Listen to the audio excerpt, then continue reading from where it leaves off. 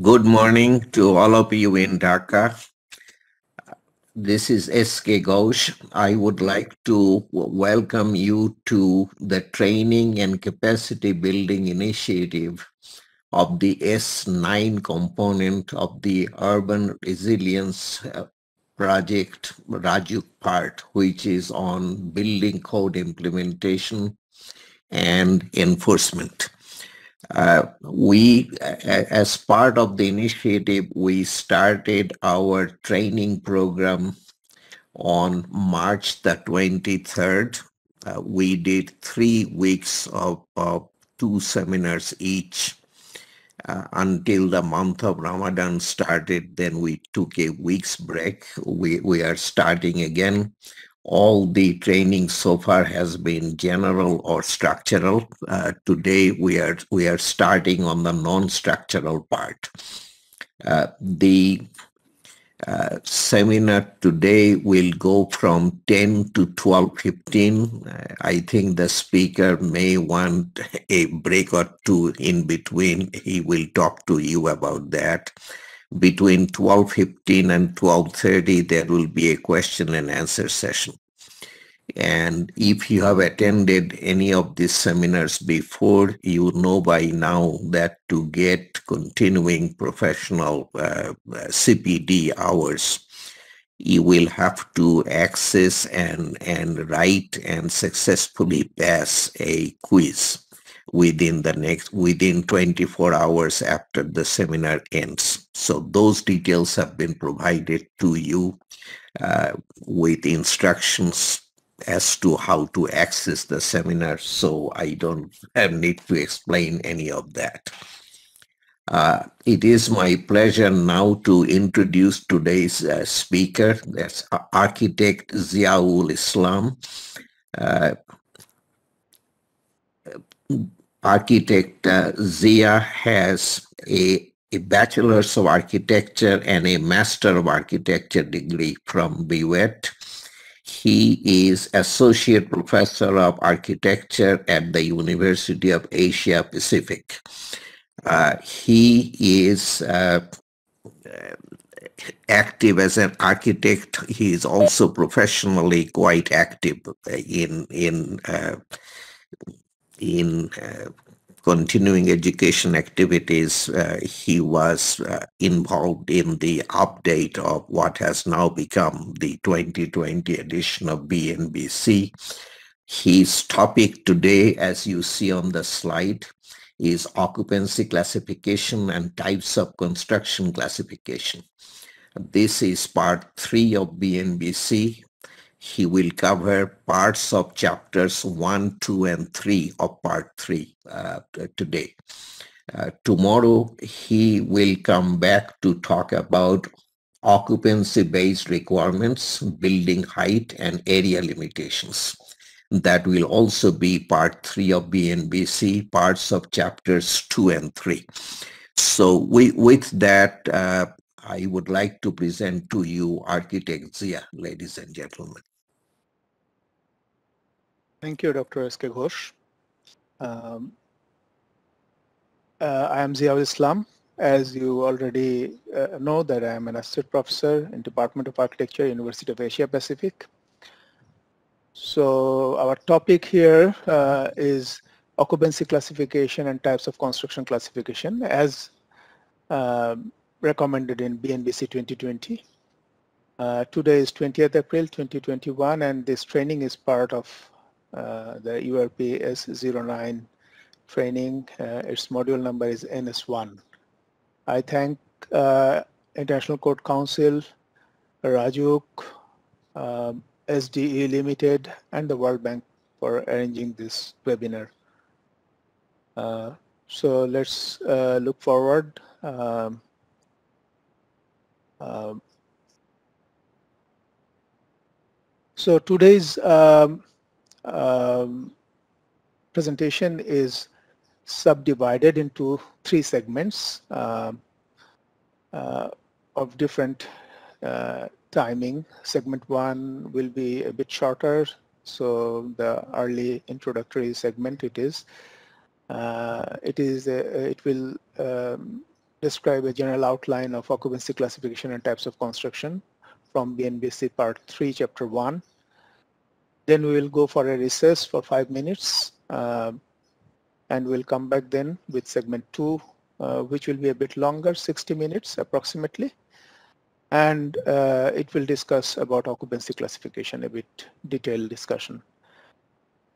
Then again we'll take a five minute recess and that will be the beginning of uh, segment three, um, uh, approximately a 30 minute session, which uh, will cover types of construction classification, uh, a bit detailed discussion. So after that, uh, in the last 15 minutes, we'll have a question and answer session. As you already know that you can uh, write your question and answer at any moment. you can you can uh, uh, see a button at the uh, right bottom where there is a question answer tab. You can you can click on it and put your question. So we will go through the question answer session at the last end of this presentation. Uh, so what we will cover here uh, in this presentation today is uh, part of chapter 1, 2, and 3 of BNBC 2020 part 3 actually. It's part 3 is three chapters uh, partially covered. So um, let us get to the topic. Uh, we are starting segment 1 here, um, uh, which is about a general outline on Number one is occupancy classification and number two, types of construction classification. So let us get an idea about occupancy classification. Occupancy classification uh, of buildings is based on occupancy or nature of use. How the occupants use the building, uh, that is uh, the basis of the occupancy classification categorization. Um, it uh, deals with the general and specific requirements of each of the occupancy groups. And more detailed uh, information, uh, actually it, has uh, a few chapters on it, but the initial brief description of the occupancy groups will be found in BNBC Part 3, Chapter 1, Especially, uh, it starts with section 1.4 where occupancy and construction classification of buildings uh, is a separate section. And there is a table 3.1.1 uh, which describes it clearly.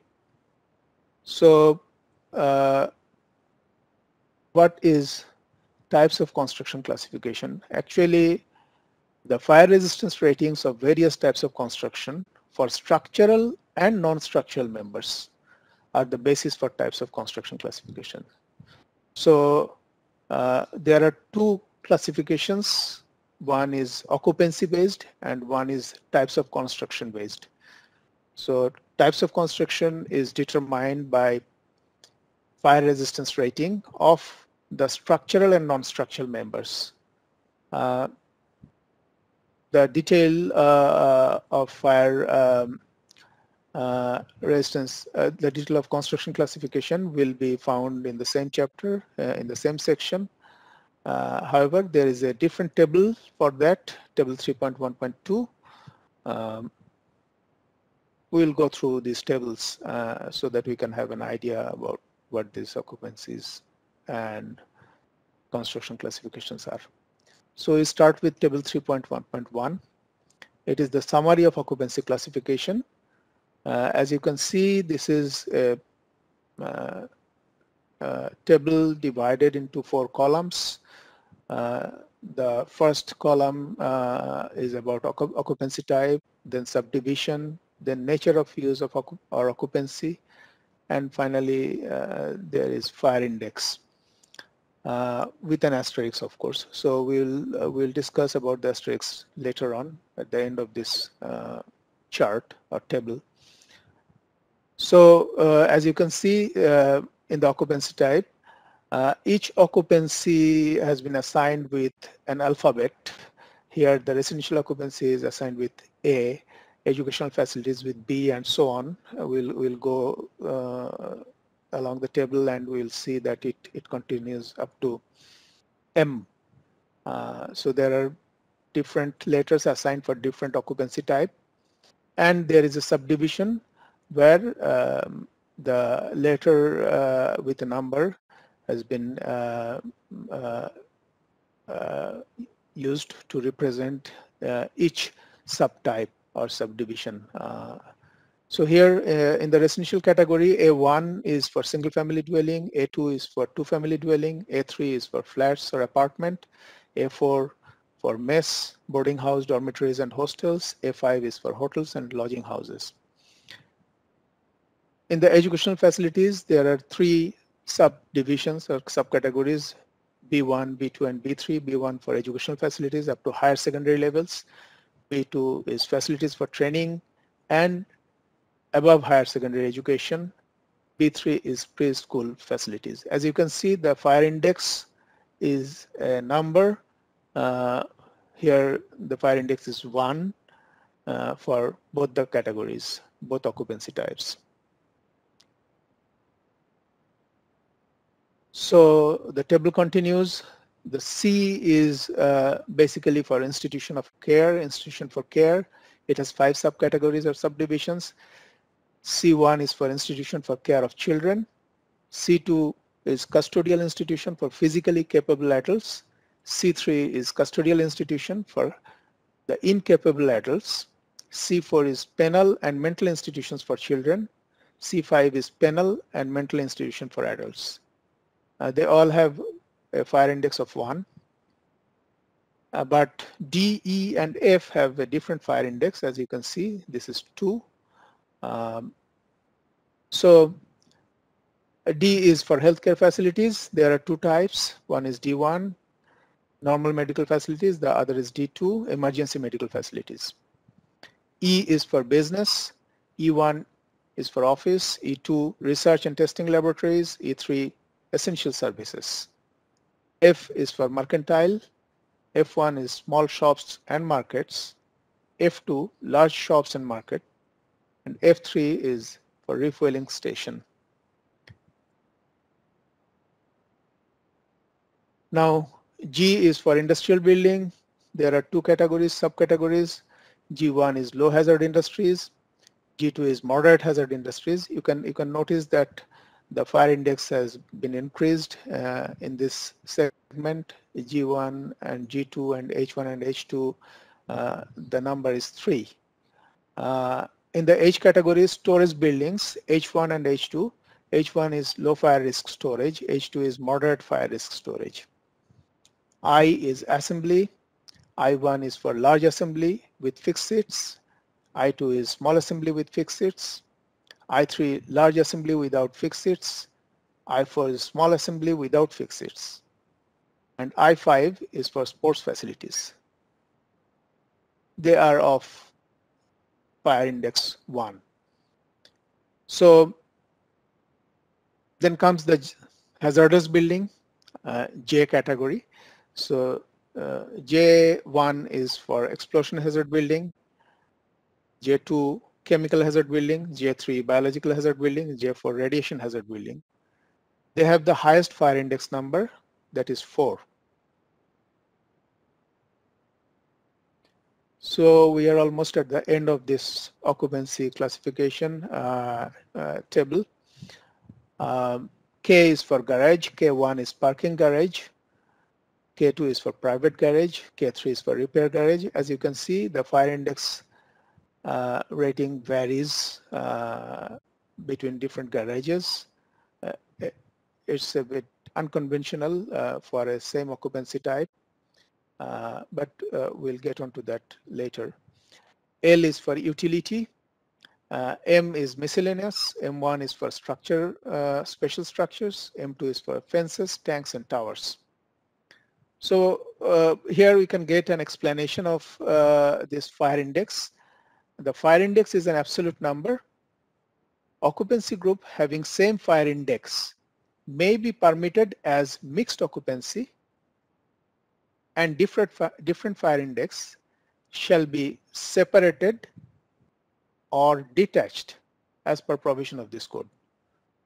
So we are getting three new terminologies uh, because uh, so far we were clear that there are one particular alphabet assigned to each occupancy and it has subcategories. Uh, so uh, that is clearly stated out that this occupancy is for residential or this is for educational for uh, healthcare or something. But here we can find uh, three new terms. One is called mixed occupancy, the other is separated occupancy, and the other is detached occupancy. So let's have a look to those things, what is uh, meant by mixed, uh, separated, and detached occupancy. So mixed occupancy, uh, here at least we can see that uh, it is, there are multiple mixed occupancies, but the first one is about non-separated use. So there is a um, footnote of occupancy classification that the occupancies can be mixed uh, and uh, with certain guidelines, of course. So what are the guidelines? Uh, here is one. Uh, it says that the following occupancies shall not be required to designate as separate occupancy classification from users to which they are accessory to any occupancy group other than occupancy group J. As we can uh, see from the earlier chart that J is a hazardous occupancy. So uh, J uh, uh will be uh, treated differently from the other occupancies as you can see through the uh, progression of this presentation. But for all other occupancies, the following five categories will not be required to designate as separate occupancy. They can be non-separated occupancies or non-separated use for the um, primary occupancy. So what are they? A is assembly rooms having a floor area not more than 75 square meter. B is the administrative and clerical offices and similar offices not exceeding 25% of the floor area of the major occupancy and not related to hazardous building as defined in occupancy J. C is administrative offices, gift shops, and other similar uses of occupancy A, provided the uses do not exceed 10% of the floor area of the major occupancy. And D is kitchen, associated with dining area. E is carports having at least two sides entirely open associated with occupancy A. So these are uh, mixed occupancies, non-separated use, of course. So they can be uh, considered as part of the main occupancy and uh, we don't need to take any special measure uh, to accommodate them. So uh, here comes the separated occupancy. Uh, and as you can see that separated occupancy also involves some construction measures.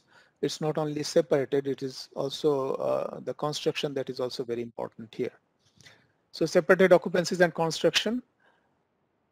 It says that when two or more occupancies are accommodated in a building, each such occupancy shall be separated according to the provisions specified in section 2.3, chapter 2, part 3, and table 3.2.1. So we'll go into details of these uh, tables and chapters uh, and sections uh, later on. Uh, but uh, so we can have an idea from this statement that there are uh, options for mixing two or more occupancies in the same building, but it has a condition that there will be some separation requirements uh, and uh, that is mentioned in the particular section and table of this part of BNBC. When two or more types of constructions used within a building, the entire building shall be subject to the most restrictive construction type and shall comply with far restrictions as per provision of this code. So uh, it is about construction, not about uh, occupancies. The second uh, para is about type of constructions. So if we mix two types of or multiple types of constructions together, uh, the most restrictive construction types shall be the uh, uh, uh, shall dictate and dominate and we have to comply with that and the fire corresponding to those type of construction will be uh, allotted to that particular development.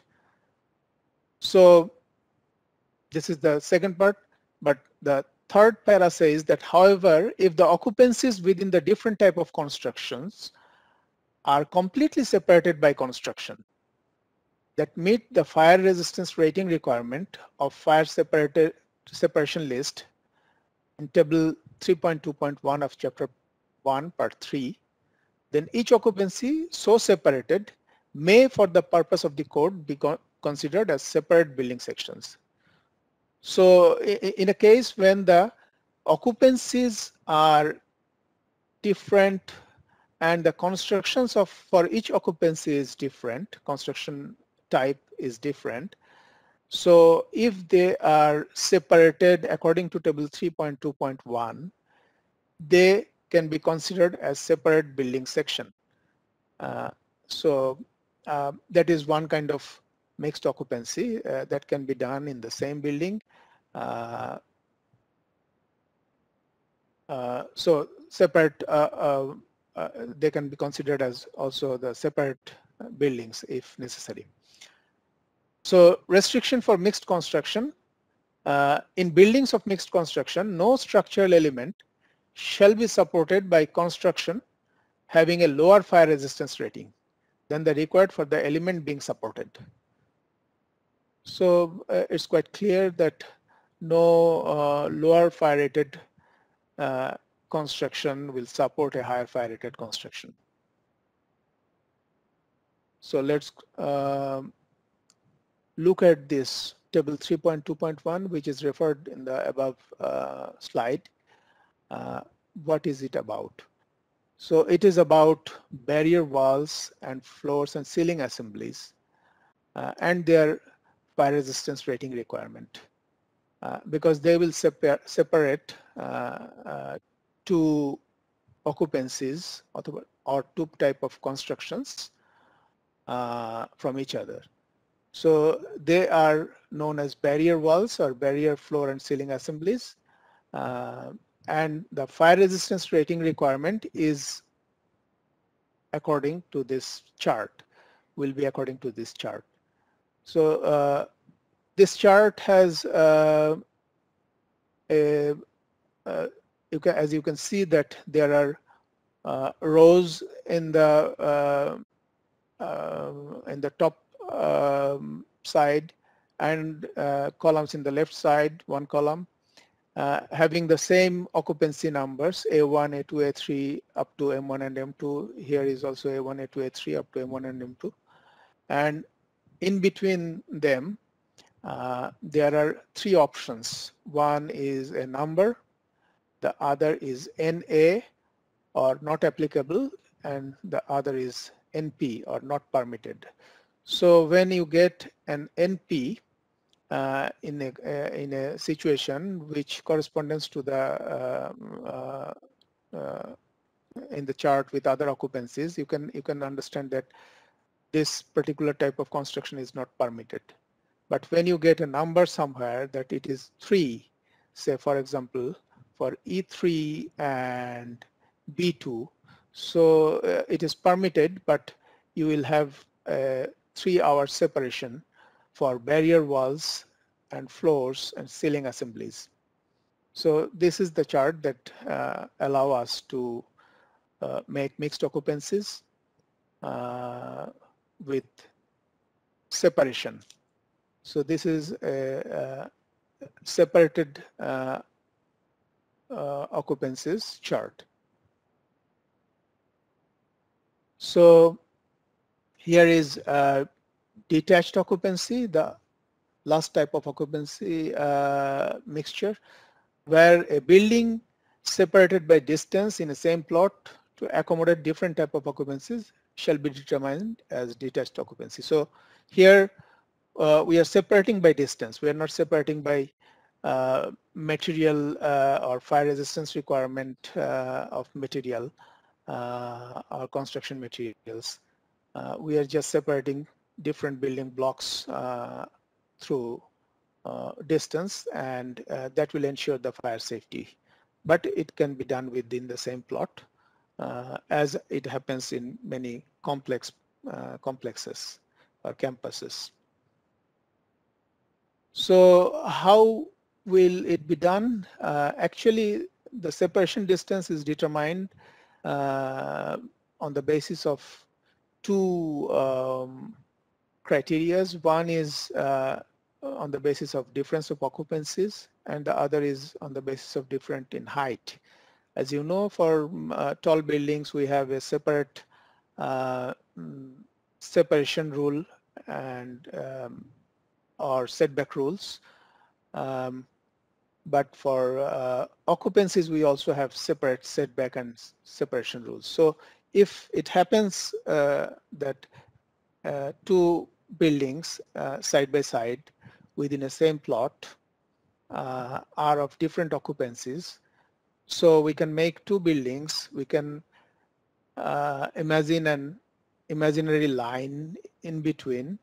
And from that we can see the fire separation distance uh, as in occupancy 1 it is D1 uh, for occupancy 1 and for occupancy 2 it is a different fire separation distance. It is D2 so the overall separation distance between these two occupancies are D1 and D2 D1 plus D2 a combined uh, um, uh, distance so uh, this is how uh, the separation distance will be measured uh, for detached occupancies.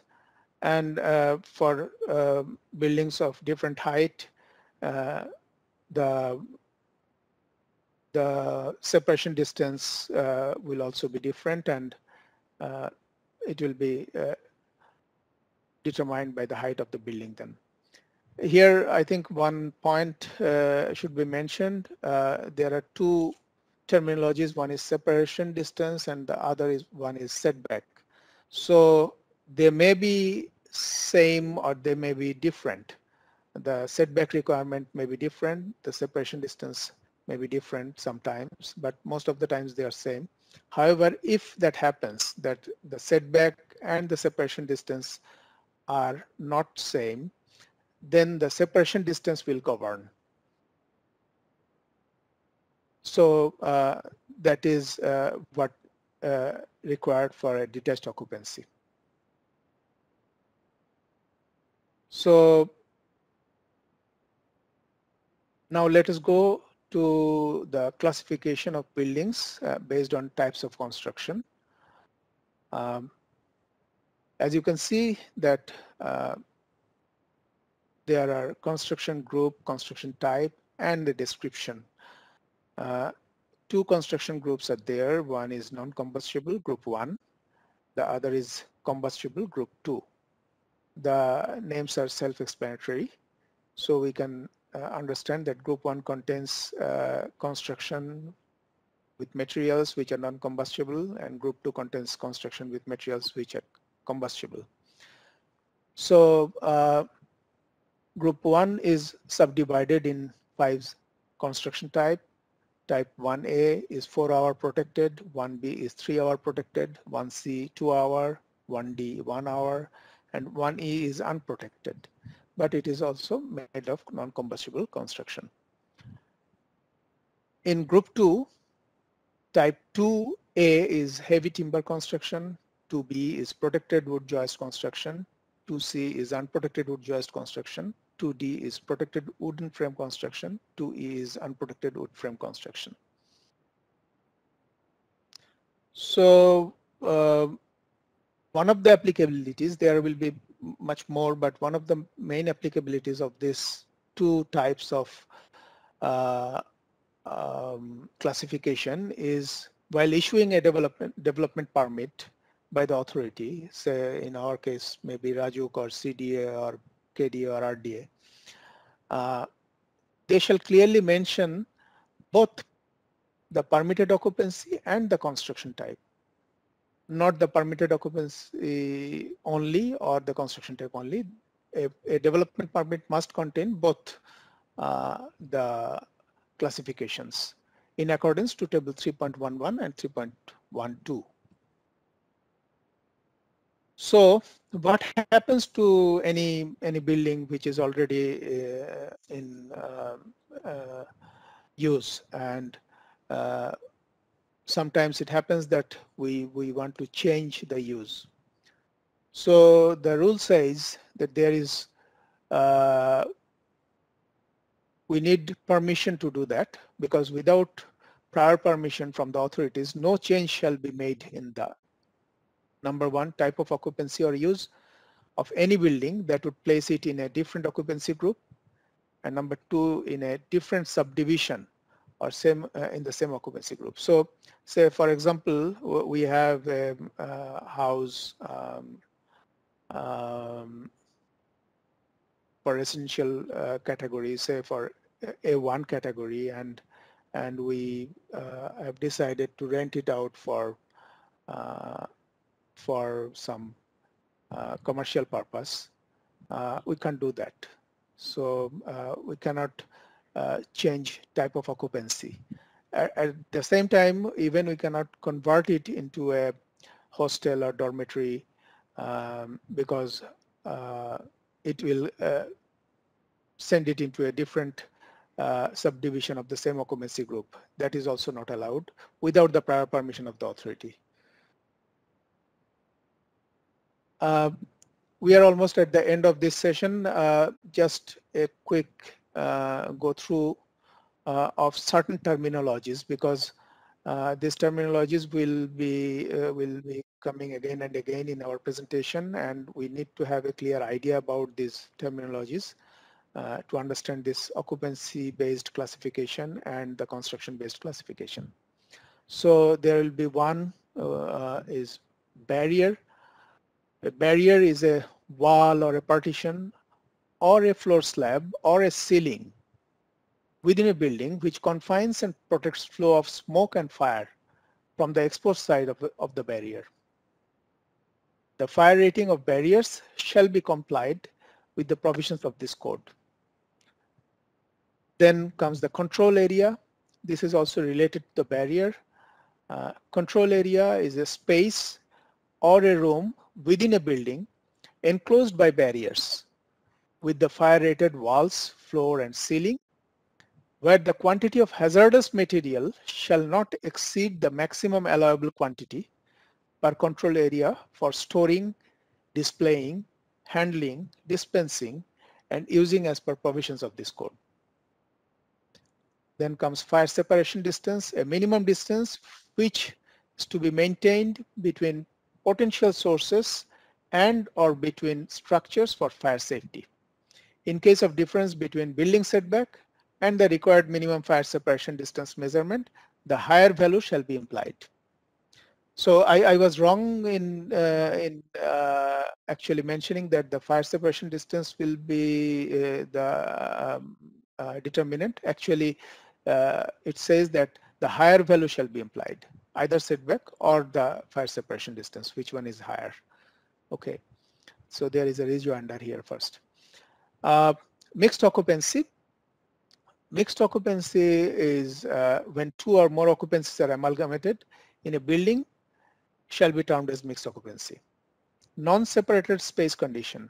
Walls and partitions between compartments, rooms, spaces and areas within a building or part of a building which are not separated by an approved fire rated barrier, walls or partitions shall be designated as non-separated use space condition or effective undivided single space. Separated occupancy. A building or a portion thereof separated by barriers with wall or ceiling slab that into two or more parts to accommodate different types of occupancies in different parts. Separated space condition. Rooms, spaces or areas within a building when separated by approved barrier walls. separation wall.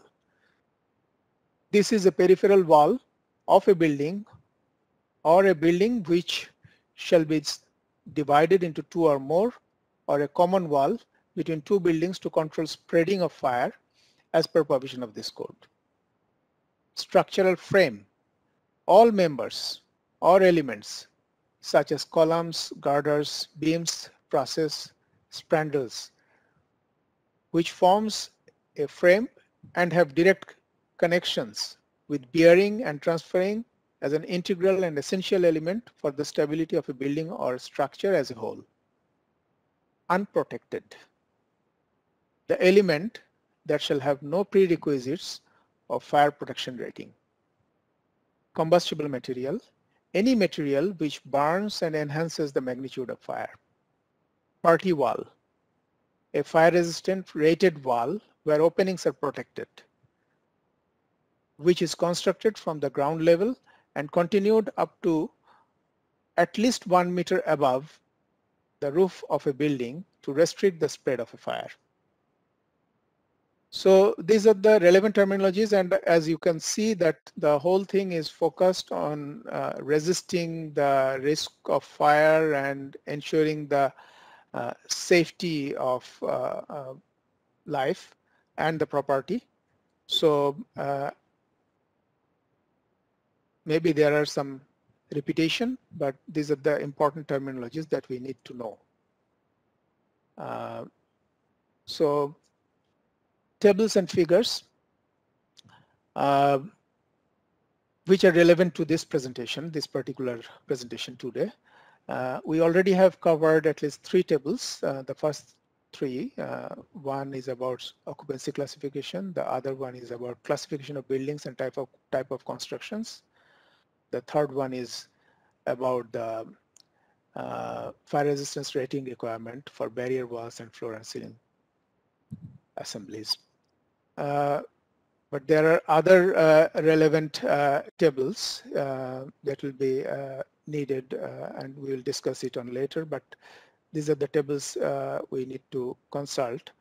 table 3.2.2 is about fire resisting rating of the exterior wall. Table 3.2.3 is about uh, the fire resistance rating of the opening protection assembly. Table 3.2.4 is about the permitted type of construction and fire zones of various occupancy group.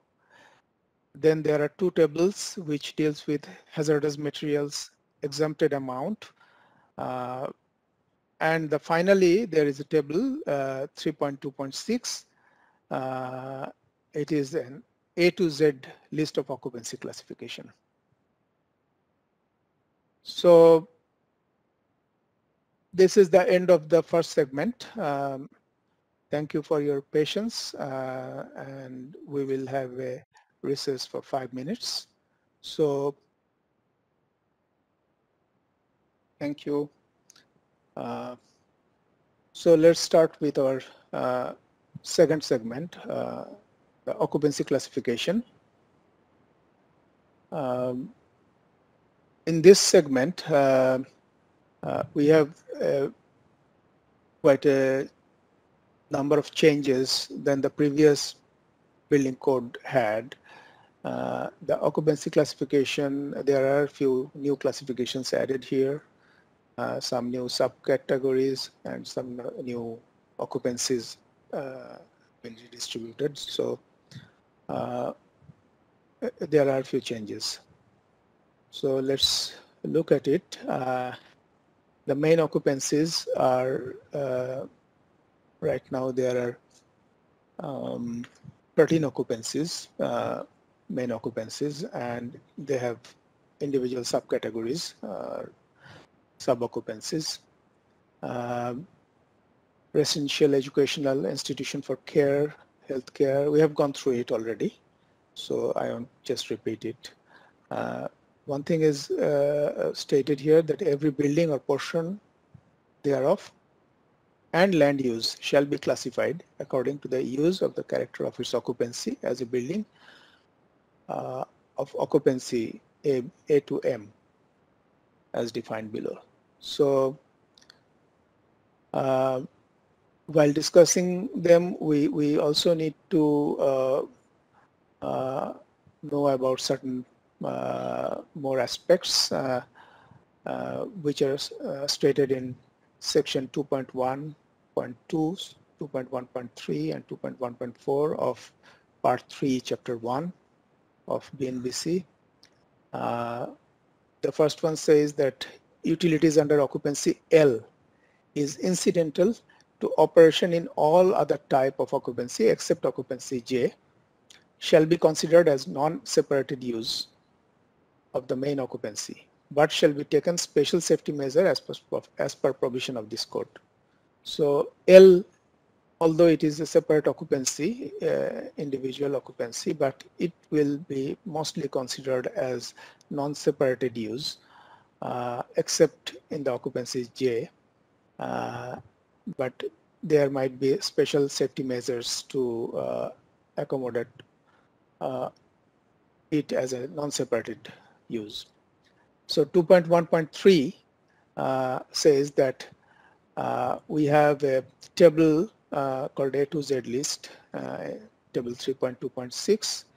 It says that any occupancy or use type not mentioned specifically in table 3.2.6 A to Z list or elsewhere in the code shall be classified by the Board of Appeals under the occupancy group to which its use most closely resembles, considering the life safety and fire hazard. So if uh, there is any uh, project uh, that doesn't fall into any categories that we can find in these occupancies, uh, we can refer it to this uh, Board of Appeal and they will um, assign a occupancy uh, for that particular project which will most closely resembles but what will be the basis? The basis will be the considering uh, the life safety and fire hazard. Uh, on the basis of that they will uh, decide the category of classification of that project. Uh, 2.1.4 each occupancy group shall be subdivided as detailed in the following sections the detailed classification including mixed occupancy provided in the 3.2.6 is non-exhaustive. So 3.2.6 doesn't cover all the occupancies. It might be uh, there might be other occupancies uh, left out. Uh, so if there in there is any use or character of occupancy in a building which is not mentioned here, it shall be classified as per the provisions of the earlier section 2.1.3. Now let us go to the details of each occupancies. So the residential occupancy, we start with that. Uh, this occupancy shall include any building or portion thereof providing sleeping and living accommodations to related or unrelated group of peoples with or without independent bathrooms, cooking and dining facilities except any building classified under occupancy C or D. This occupancy shall be subdivided as follows. So uh, as we can uh, see this para, uh, uh the sentence structure is made in a manner where uh, we first uh, tell about the infrastructure that is to be that we are talking about. it is a building or portion of building. Then we are talking about the use of the building for sleeping or living. then we are talking about the user group. what are they? So uh, are they related or unrelated? Uh, then we are also talking about the infrastructure facilities and um, uh, we are also talking about the exclusion which will not be excluded in this category and that is all. So this sentence structure will be repetitively uh, carried through the code because uh, it will be a bit uh, repetitive and I'm I'm sorry if it sounds boring but uh, this is the structure of the of this part and this classification. So we will be uh, seeing this sentence formation uh, again and again and probably this is good for us to uh, understand it in, in these subcategories so that we can look for special details uh, for each category. So uh, we start with A1 single family dwelling. There shall include, this shall include any building, row type or semi-detached or detached from neighboring buildings by distances required by the code and having independent access to the plot which is used as private dwelling by members of a single family. A2, two family dwelling.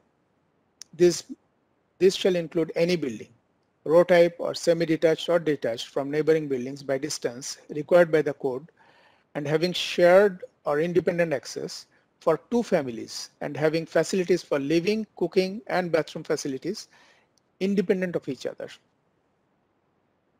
A3. Flat or apartment. This shall include any building or portion thereof which is provided for more than two families having facilities for living, cooking and bathroom facilities independent of each other.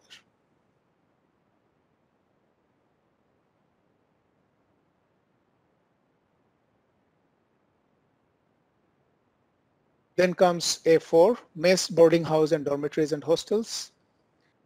This shall include any building or portion thereof in which sleeping, living accommodations and bathrooms are provided for groups of related or unrelated persons with or without common dining, facility, dining facilities and with common cooking under single management control or with individual or group cooking facilities. A5 hotels and lodging houses this shall include any building, a portion thereof or group of buildings under single management in which sleeping, living accommodation and bathroom facilities are provided with or without dining facilities but without cooking facilities for adult individuals is provided for hire on transient or permanent basis. So uh, that concludes the A group uh, that residential group. We start with the educational facilities, occupancy B. This occupancy uh, type of uh, type shall include any building or portion thereof in which education, training and care are provided to children or adults. This occupancy shall be subdivided as follows. B1, educational facilities up to higher secondary level. This shall include any building or portion thereof used for purpose involving assembly for instructions, education, and recreation for more than six persons on regular basis to fulfill the requirement of an academic curriculum approved by the government up to higher secondary level and which is not covered by occupancy I. Then B2, facilities for training and for above secondary level. This shall include any building or portion thereof used for purpose involving assembly for instruction, education, training and recreation for more than six persons and which is not covered by the occupancy I and B1.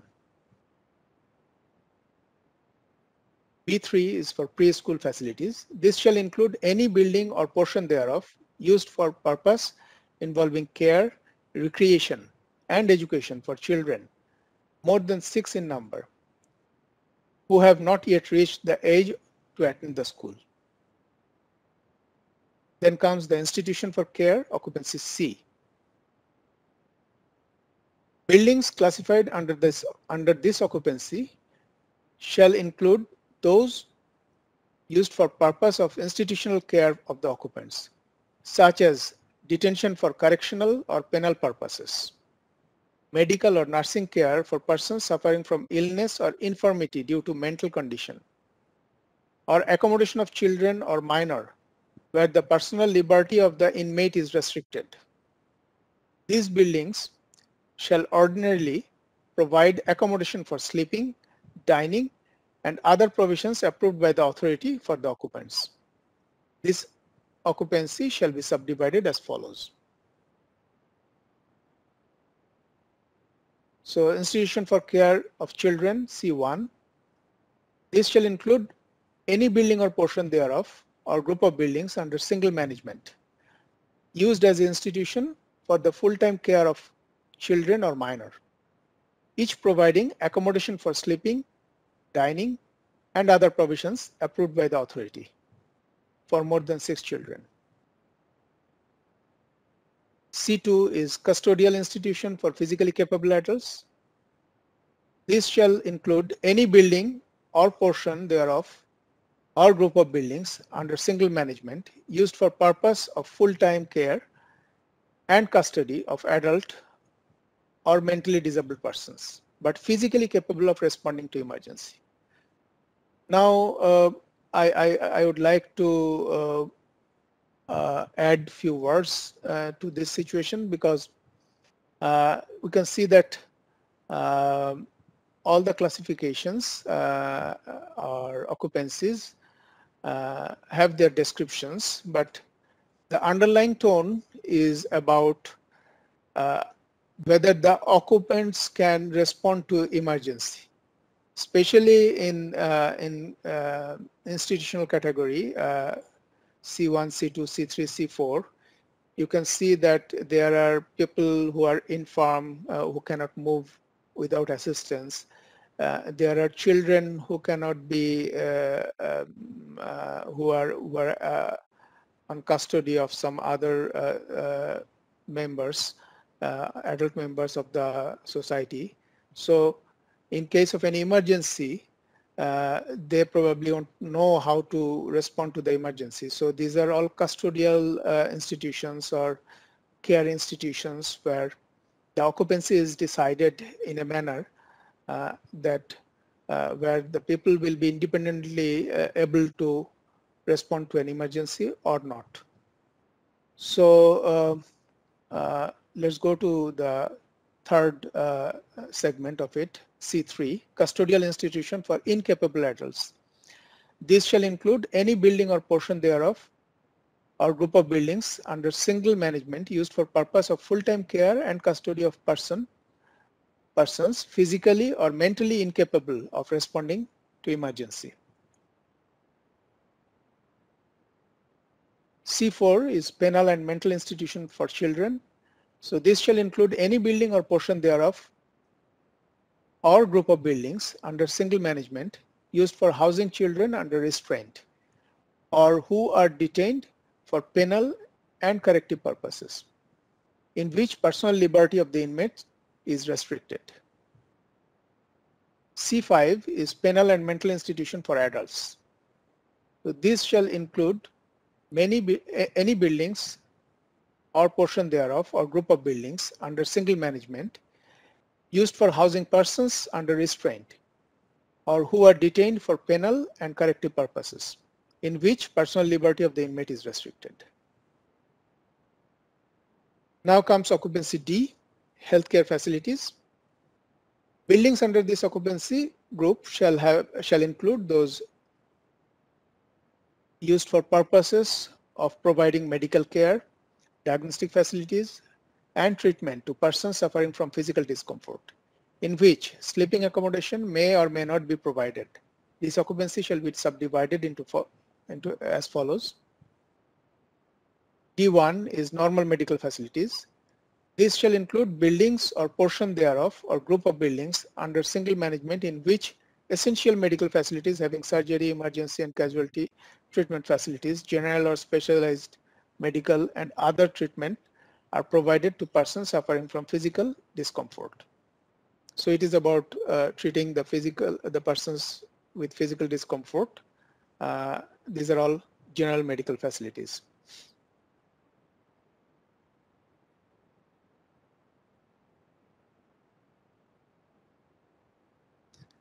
Uh, the D2 category, emergency medical facilities, uh, it describes that this shall include any building or portion thereof used for purposes of providing essential medical services, having surgery, emergency, casualty treatment facilities, general or specialized medical or other treatment is provided to persons suffering from physical discomfort. Up to this point, it, it resembles like D1, but there are uh, some exceptions that made it a different subcategory.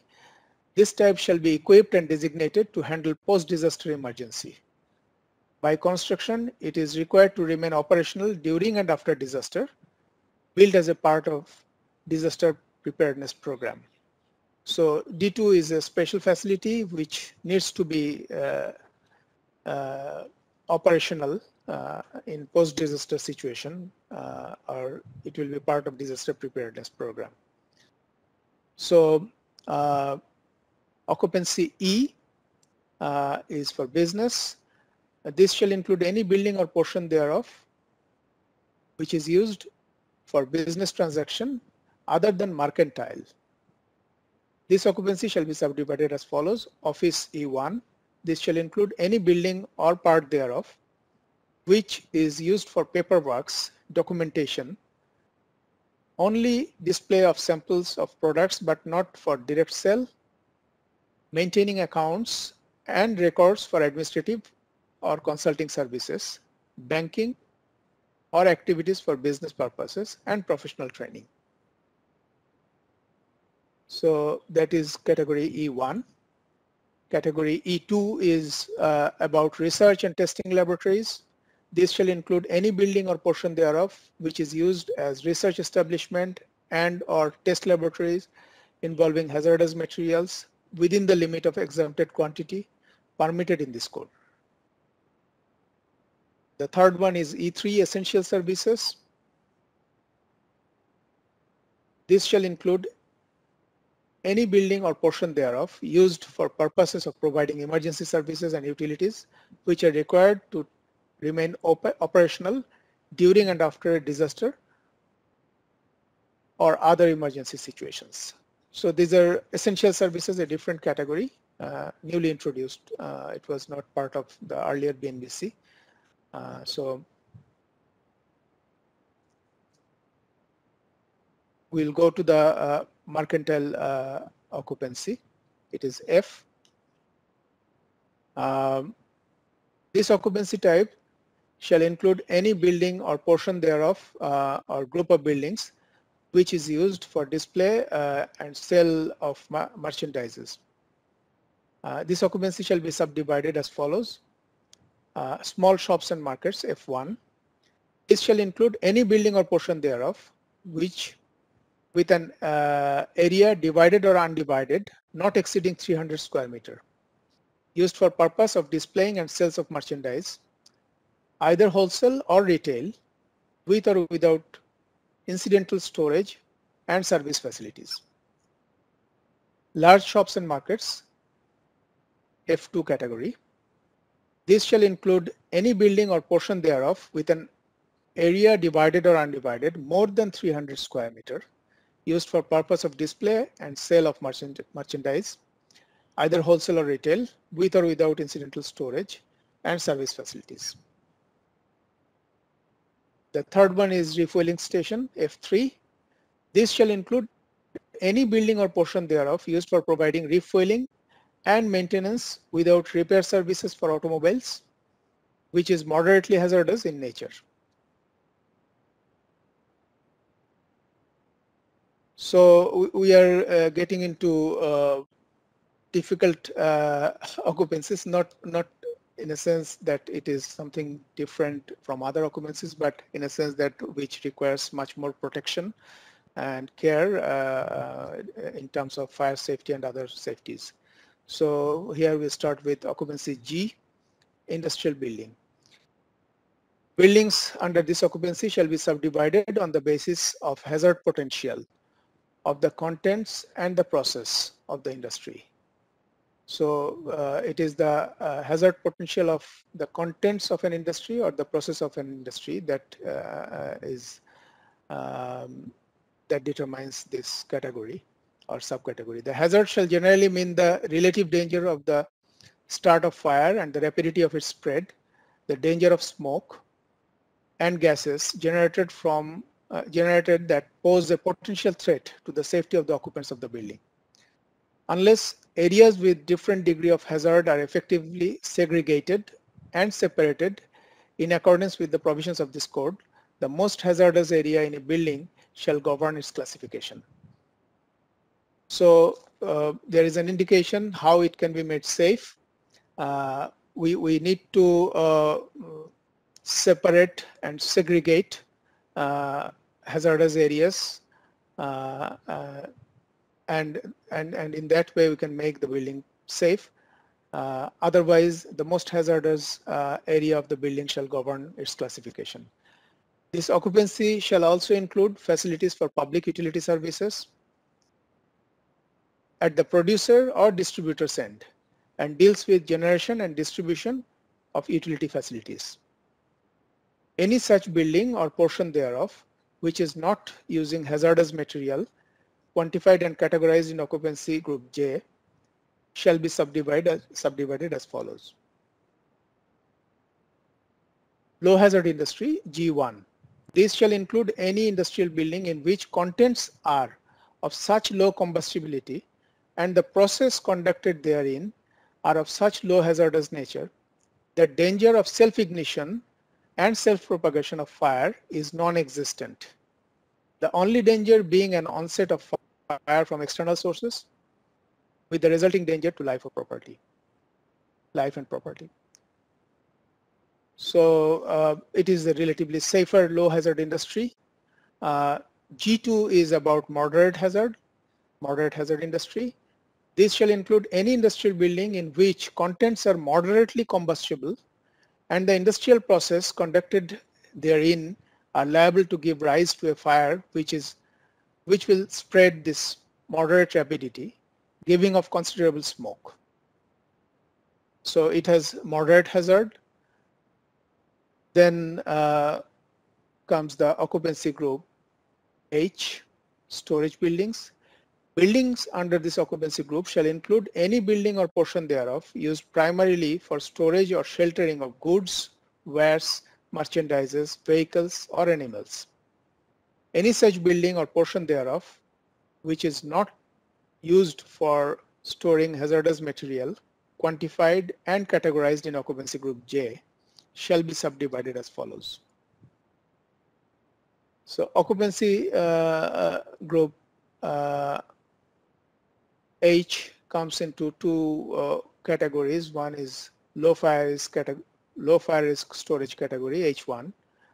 The other is moderate fire risk storage category H2.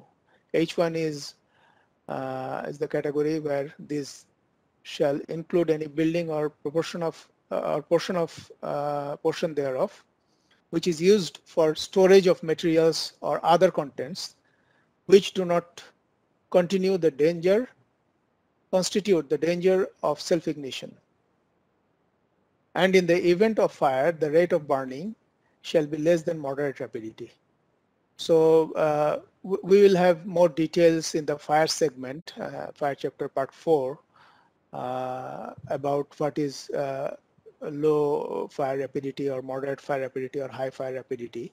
Uh, that will be discussed on the later uh, um, presentations. But for the time being, the low fire risk storage uh, occupancy says that it, it has um, contents or storages of materials that has um, less moderate rapidity of fire. So moderate fire risk, um, less than moderate fire rapid, uh, moderate rapidity of fire. So it is not moderate, it is less than moderate uh, rapidity.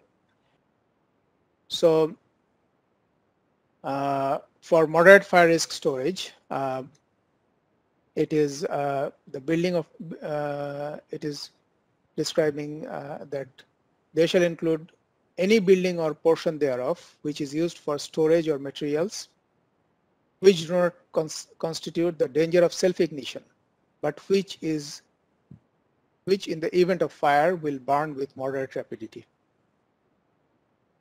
Items which shall be deemed to render a building hazardous shall speci are specified in section 2.14.3 along with exempted amount for each item. So uh, we have new references about section 2.14.3 and the new terminology that an exempted item is there.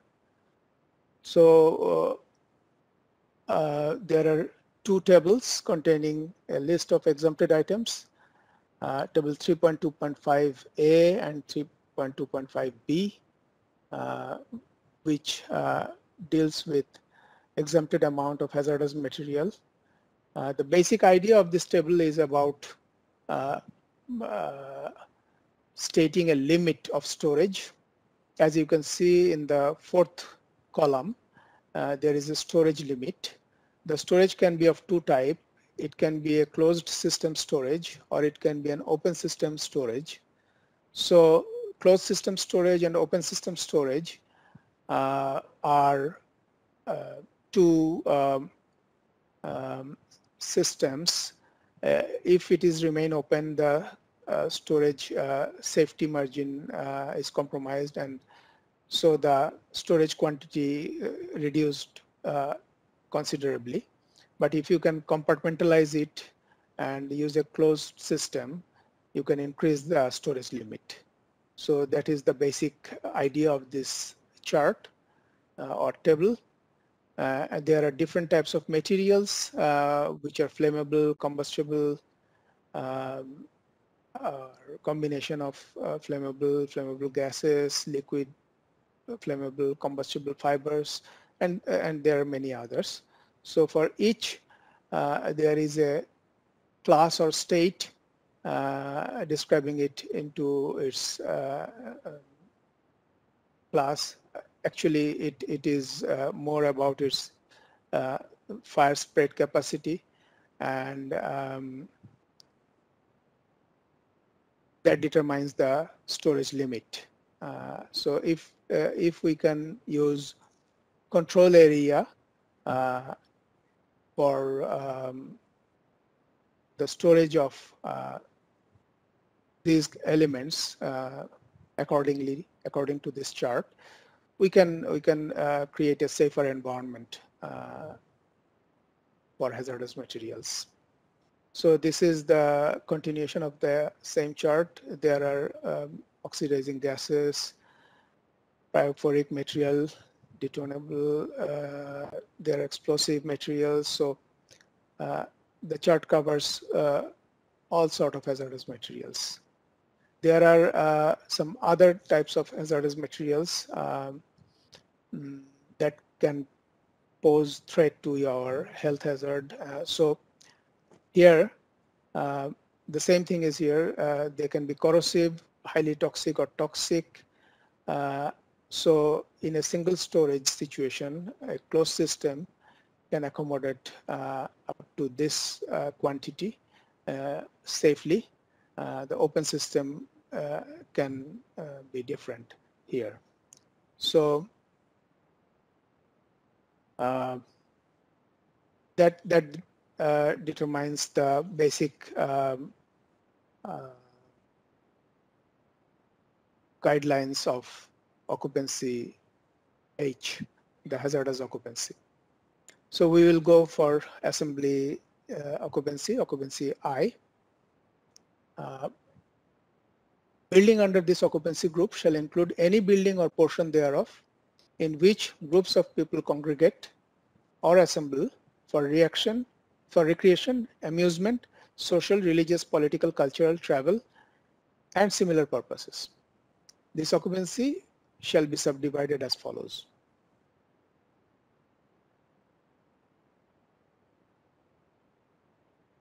Large assembly with fixed seats. I1. This occupancy shall include a building or a portion thereof for assembly in a space provided with fixed seats for 1000 or more persons.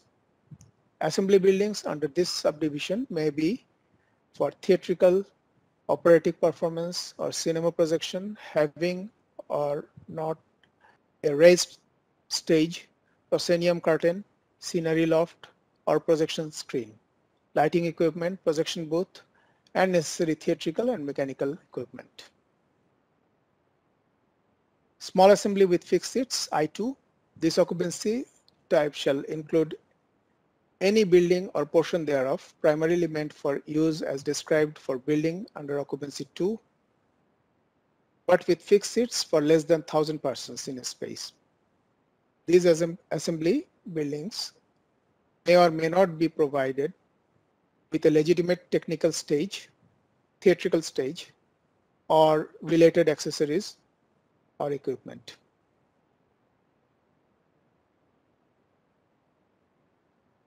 So mm, the I3, large assembly without fixed seats, this occupancy type uh, shall include any building or portion thereof for assembly in a space in which there are no fixed seats, which may or may not be provided with a legitimate stage or theatrical accessories, and which has accommodation for 300 or more persons.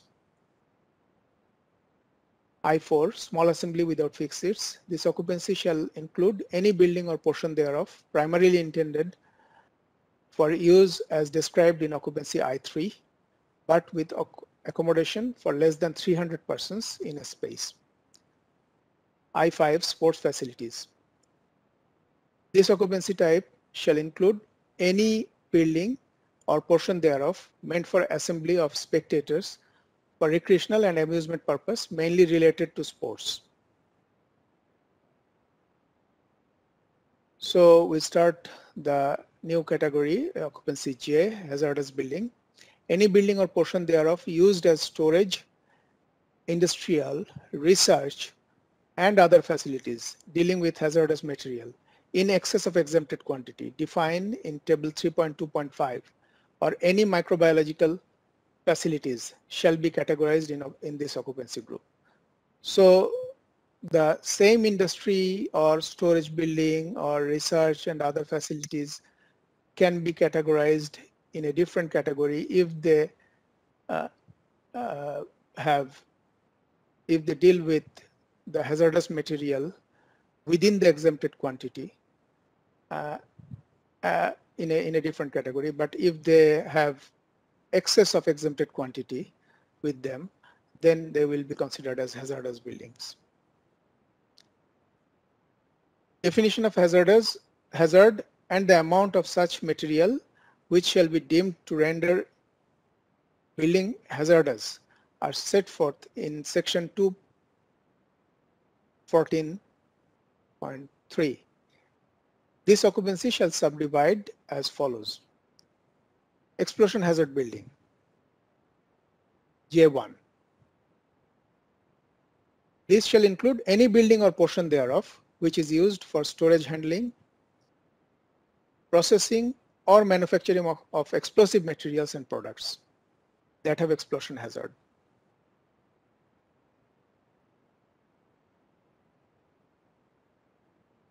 Chemical hazard building, J2.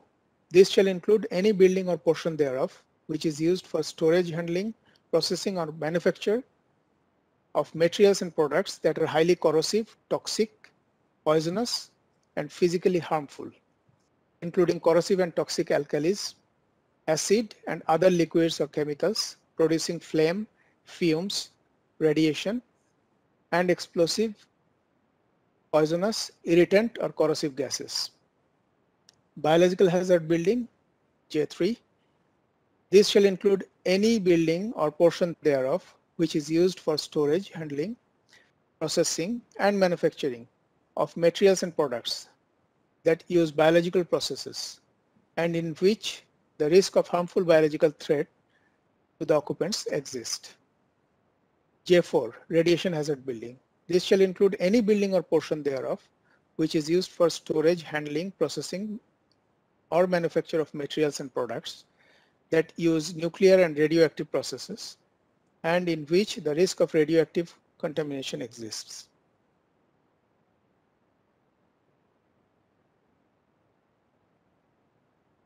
Occupancy K, garage. These occupancy types shall include any building or portion thereof used one or more vehicles having containers of flammable liquid or compressed gas or carrying power or combination of any of these as a supply source of self-propelling are kept for use, sale rental purpose, storage, repair, exhibition, and all those floors of a building or portion thereof in which such vehicles are not separated by suitable cutoffs to prevent fire spreading. Parking garage K1.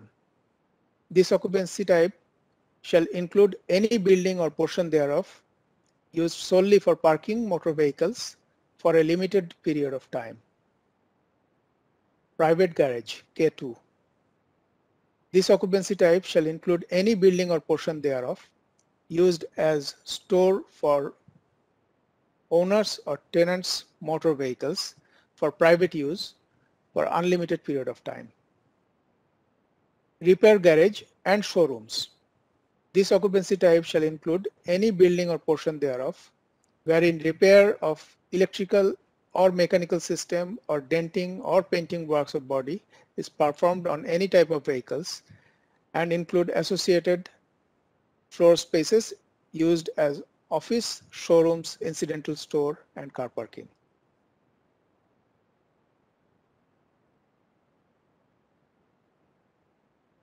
Occupancy L utility. This occupancy type shall include any building or portion thereof used to install any type of equipment to provide support services to any building or portion thereof or group of buildings of all occupancy groups and with special provisions for occupancy group J. This shall also include all public and private utility facilities of the consumer's end that are located within the consumer site and all installations are required special care to ensure life and property safety as per provisions of this code.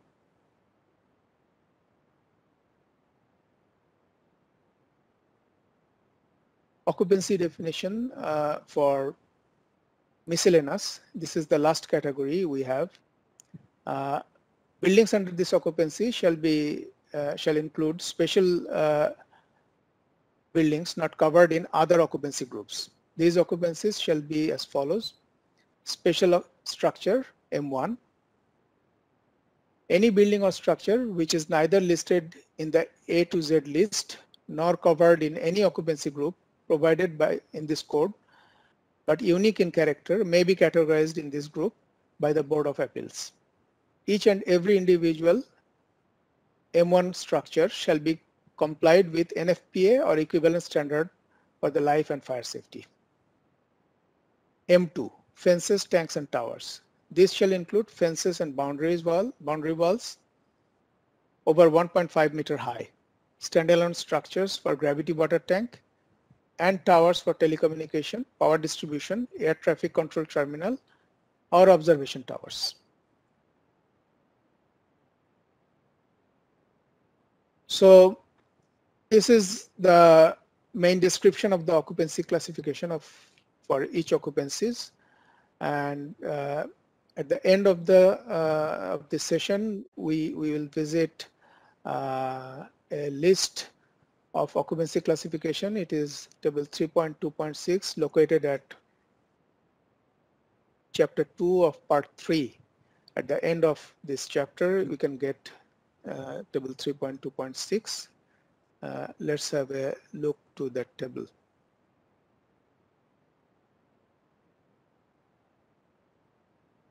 So here is table 3.2.6 uh, A to Z list. Uh, as you can, if you can uh, go through it, you, you can see that it is there are alpha, alphabetical orders of uh, different uses. At the right end is the occupancy class or subclass uh, and there is a brief description in between. So it is uh, a large content where many occupancies are covered. Uh, our day-to-day -day users uh, mostly are covered here, but there might be some occupancies which are left out so uh, they either they are uh, they have clear indication uh, in the main occupancy group, and if not, then it must be referred to Board of Appeals, and they can tell us about uh, what occupancy they should be. So this is quite a long list uh, containing uh, many occupancy classifications and their categories or subcategories. So uh, um,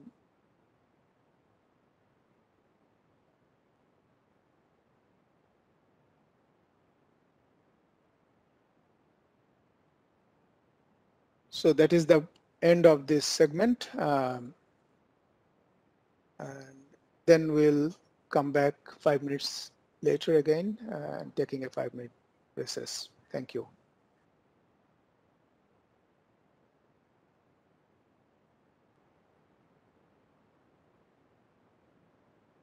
Okay, we can start again. Thank you. Uh, So uh, I hope you can hear me. Uh,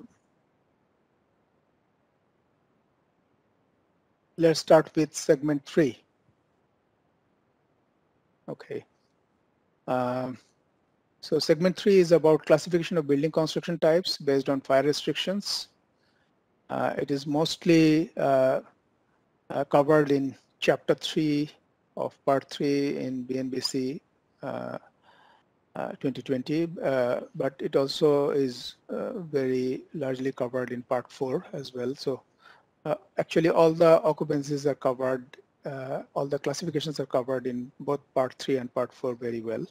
So today our scope limits to uh, limits our discussion to part 3 only. Uh, that's why we won't uh, go to the details of part 4 but um, uh, maybe the uh, there will be a later presentation by Professor Helali on part four that will clarify a few things better. so this is the uh, classification of building uh, on the basis of types of construction. We have already gone through it. Uh, so we know that there are combustible and non-combustible types and each have five sub-construction type. Uh, so uh, the code states that no building or portion thereof shall be designated a given construction type unless it fully conforms to the minimum requirement for that construction type. So this term fully conforms is very important. It cannot conform partially. So any, any construction type must be, uh, uh, any building must have the same construction type uh, to conform it to the code all along. So when a type of construction is utilized, which is superior than the type of construction required by this code, say for an example, uh, if the code asks for a type 2A construction, uh, and maybe there is a previous development which already has a type 2A construction, but the new construction uh, is intended to be done in type 1A construction. Uh, it is like this case when a type of construction is utilized which is superior than the type of construction required by this code, there shall be no requirement to upgrade the rest of the construction to comply to that higher type of construction. And the designated construction type shall be that of a lesser classification unless all of the requirement of the higher classification are met.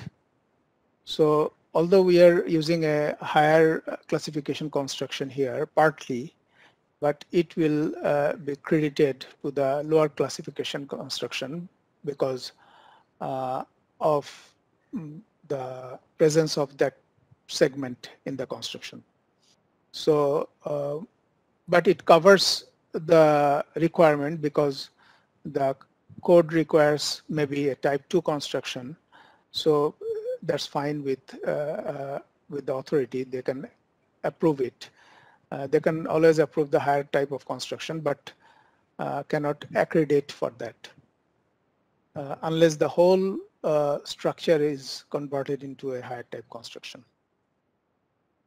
So uh, the fire resistance ratings of various types of construction for structural and non-structural members are specified in table 3.3.1a and b. We'll go through these tables.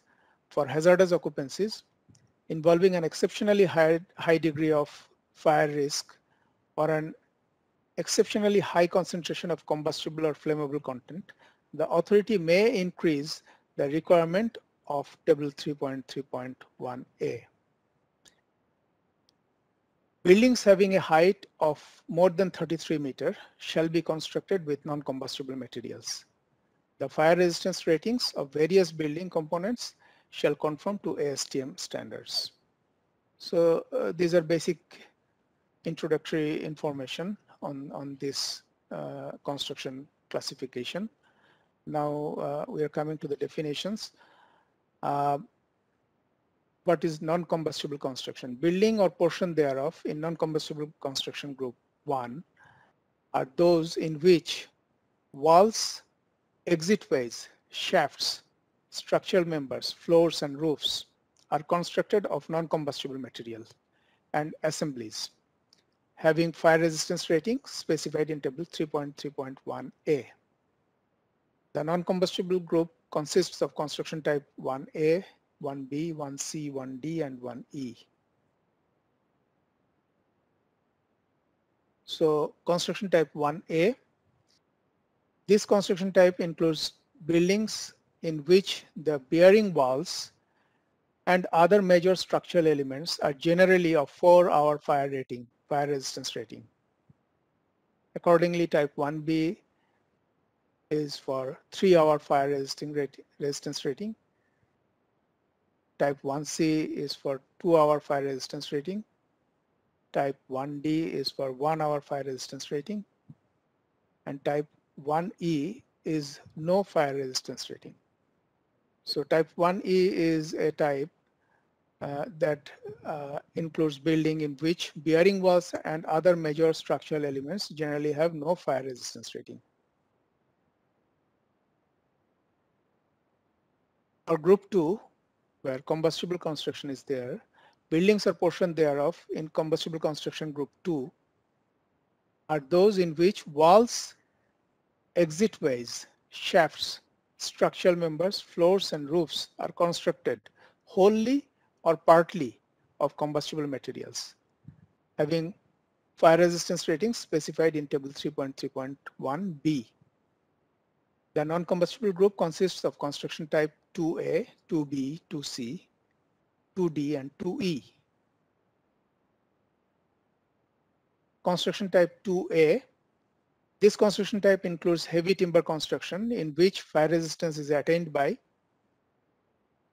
A limiting the minimum size of wood structural members and the minimum thickness and composition of wood floors and roofs. So the size of wooden members used in the structure, uh, in the floor and roof uh, is of importance here and there is a specified uh, dimension for them uh, to ensure the safety. Uh, B is avoiding concealed spaces under floors and roofs or by providing fire stopping protection for these spaces. So that is uh, another uh, um, measure to uh, for for further safety, fire safety, fire protection. C is using fastening construction details and adhesive for structural members as required by chapter, by this chapter and part 4. D is the minimum dimension for framing members shall be prescribed in this chapter and part 4 except that members are protected to provide a fire resistance rating of at least one hour need not comply with this requirement. So this is uh, the construction type 2A. or 2B construction type, this construction type includes buildings and portion thereof in which exterior walls, firewalls, exitways, and shaft enclosures are of non-combustible materials, having the required fire resistance ratings. And the floors, roofs, and interior framing are wholly or partly of wood of smaller dimensions than required for type 2 construction and are of other combustible or non-combustible materials having the required fire resistance rating.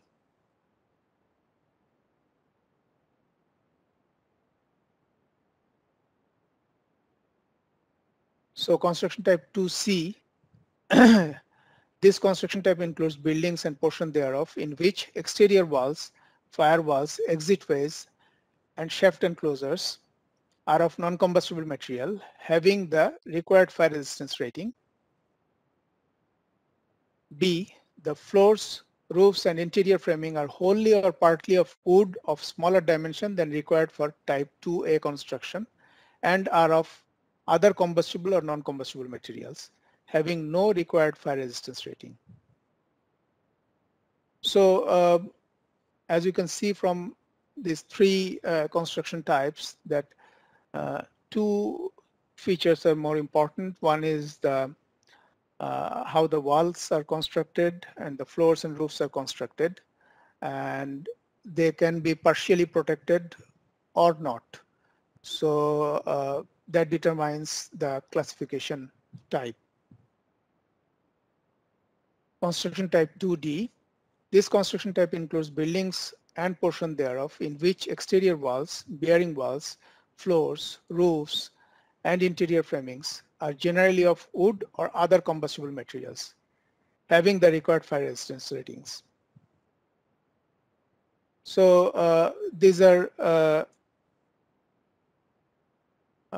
for um, construction types. The final one, uh, type 2E, uh, this type of construction of buildings uh, this type includes buildings and proportion thereof and portion thereof in which the exterior walls are generally of wood or other combustible materials having the required fire resistance ratings and in which bearing walls, floors, roofs and interior framings are of wood or other combustible materials generally having no fire resistance ratings.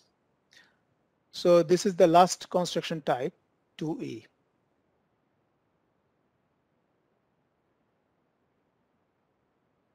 Now about construction separation. This separation uh, uh, also will include occupancy, not only construction.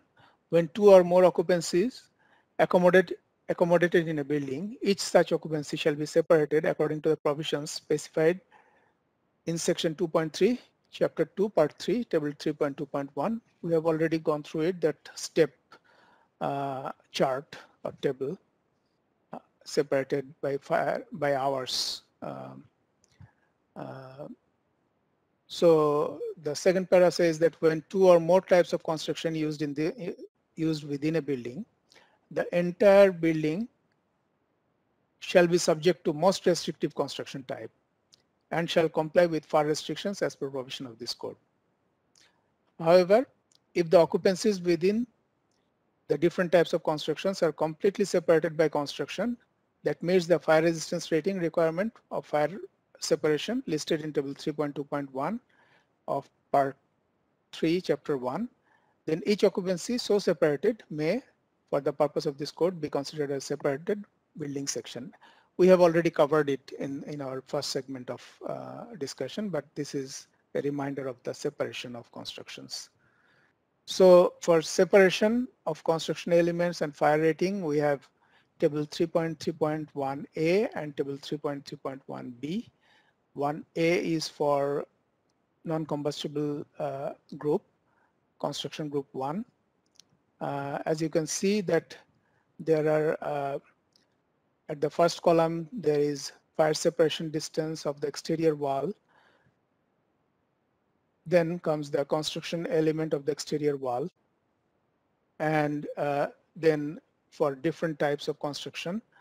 Uh, it is rating in hours and the status of uh, exterior opening on the exterior wall. So um, this um, table 3.3.1a uh,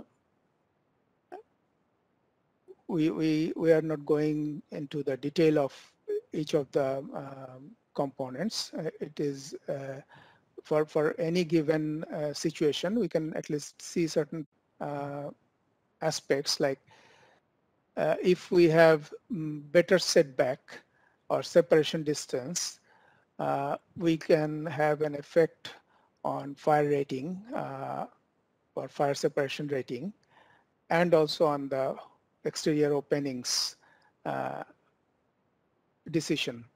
So uh, for for lesser uh, separation, uh, we have higher fire rating, and uh, not no permission for exterior opening, but for better setback and separations, we we have uh, opening criterias suited to this course as per provision of this course code, and they and relatively relaxed.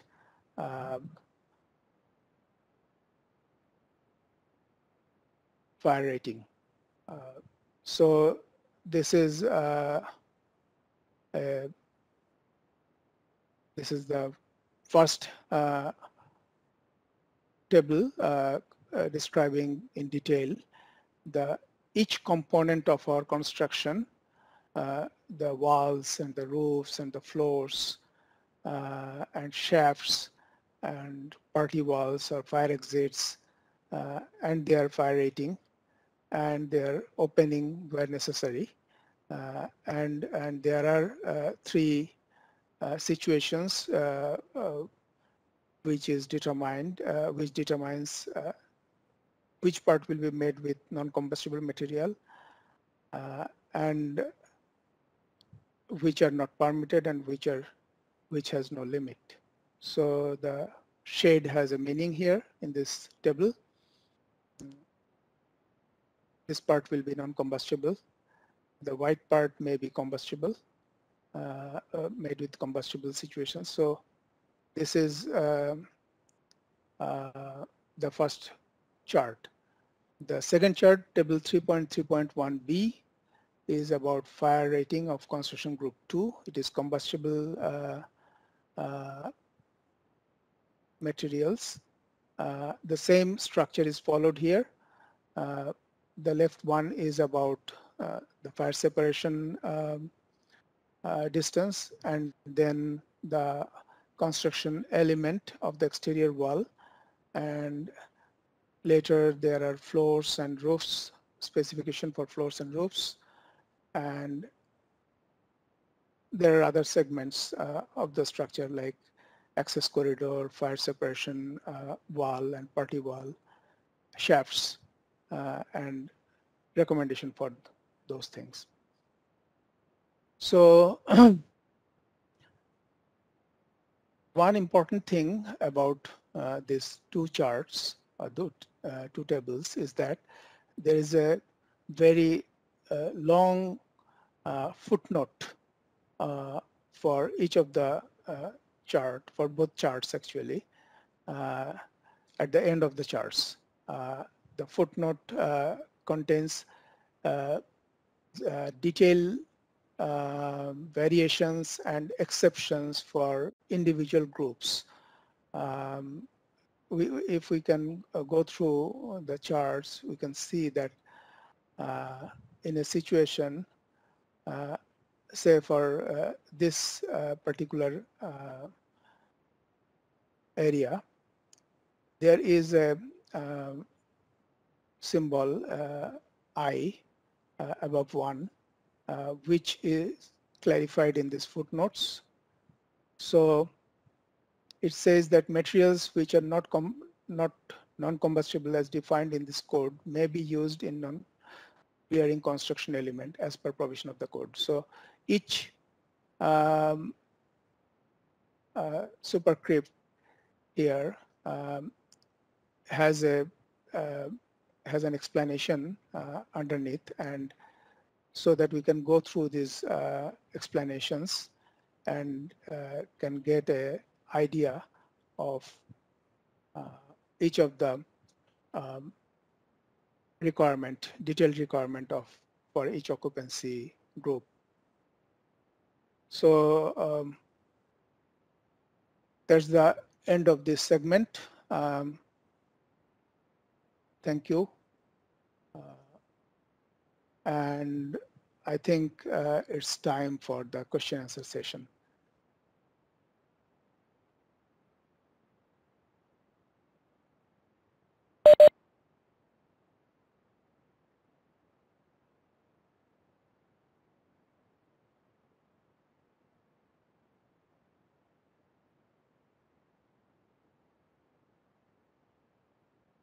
Okay, so uh, I'm uh, stopping my screen share. Uh, okay.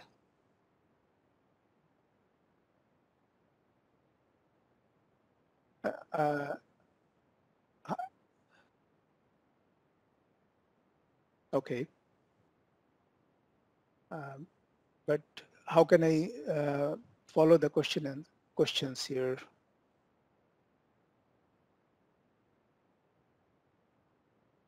Uh, in the screen share mode, I can't see the questions here. Yeah. Okay. Okay, I'm stopping here. Okay.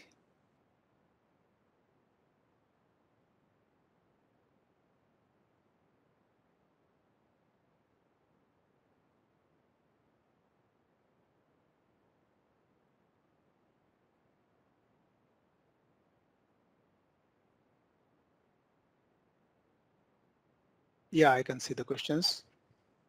So um,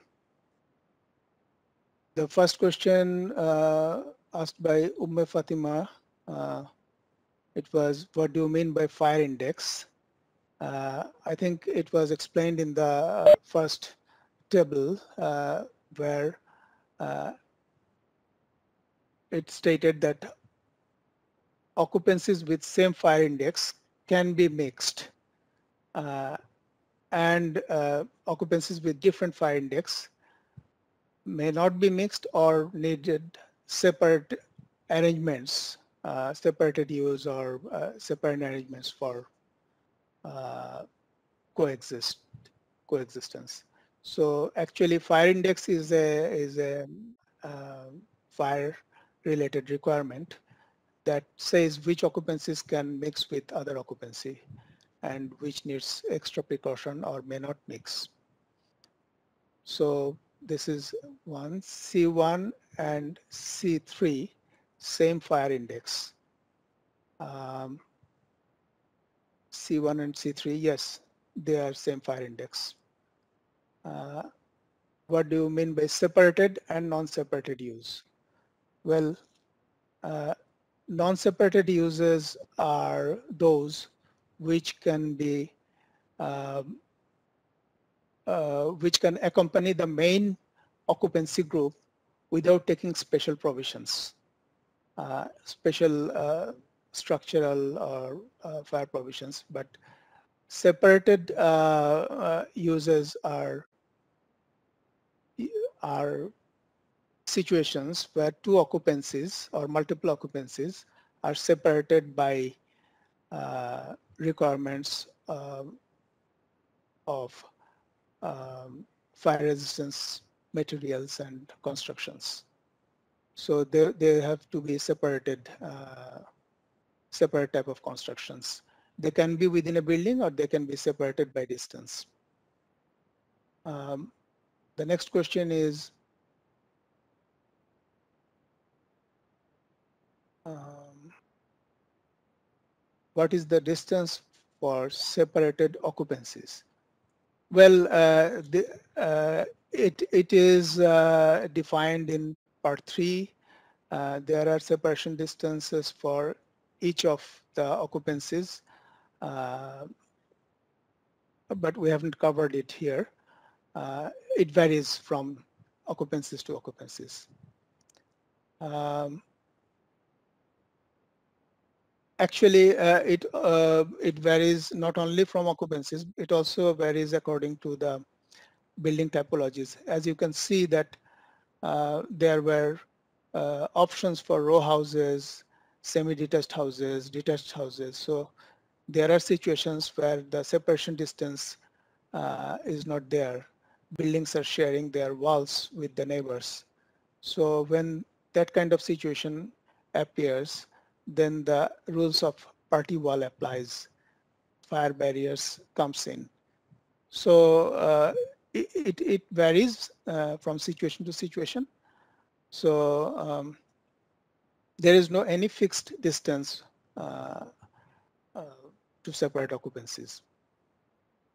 What value should we use to determine fire separation distance? Probably it is the same question uh, asked before. So I think I have answered it. Uh, please explain again party wall. Okay. So let's go back to my presentation. Uh,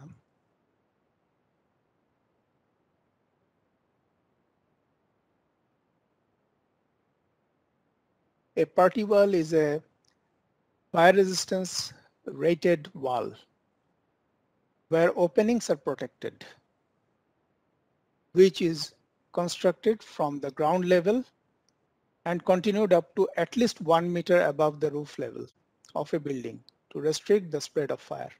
So party wall is, uh, is a wall uh, at the property line actually uh, adjoining two buildings. Uh, it is a fire rated uh, wall uh, and where openings are protected.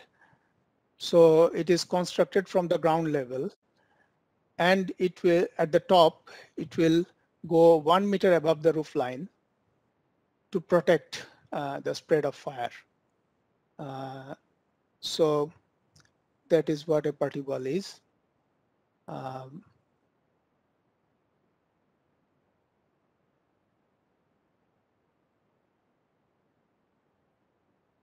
please provide us the material for this lecture. Uh, I think it will be provided. Uh,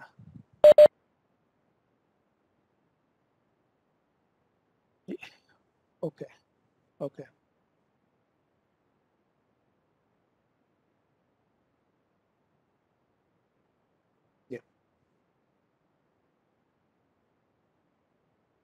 Okay.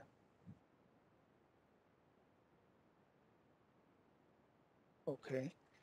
Um,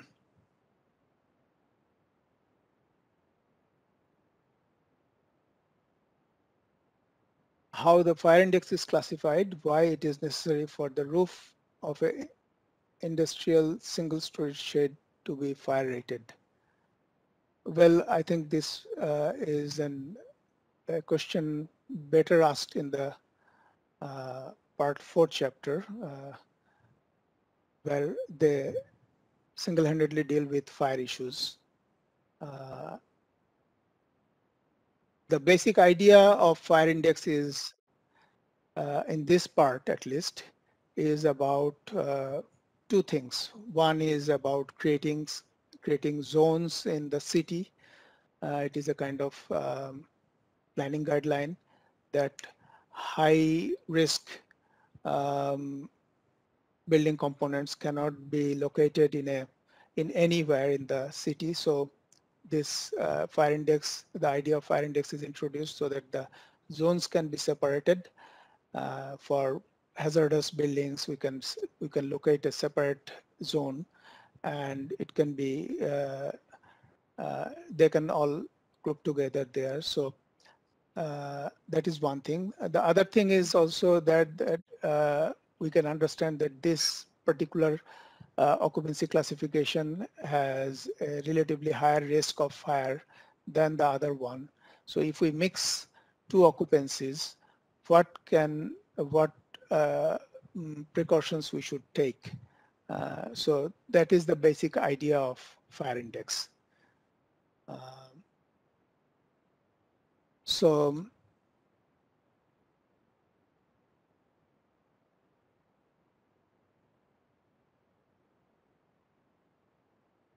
there is a question um, uh, probably uh, uh, asked by engineer Muhammad Mustahid Azad. Maximum factory buildings fall in construction category type 1B, which requires slab thickness 6.2 inch for three hours fire rating, but structurally is overestimated even for a big panel. Is it not uh, increasing project cost? 2.5 hours fire rating instead of three hours, not enough. Actually, uh, the code has already decided on it uh, uh, we have the necessary safety requirement for each category. so that is abiding here abiding uh, we must abide by uh, so uh, will burn with moderate rapidity means okay I think I can just clarify the idea, but the detail will come into the um, um, fire uh, or part four lectures. Uh, the idea of uh, fire uh, spread uh, is that that if a fire generate at some point, how quickly it spreads outward or in the surrounding. So if it there are there are materials that helps to spread rapidly, uh, very rapidly or moderate, moderately rapidly, or very slowly. Uh, the same fire can can spread in a very fast manner and occupy the whole floor, or depending upon the material, it may be isolated and uh, uh may not spread.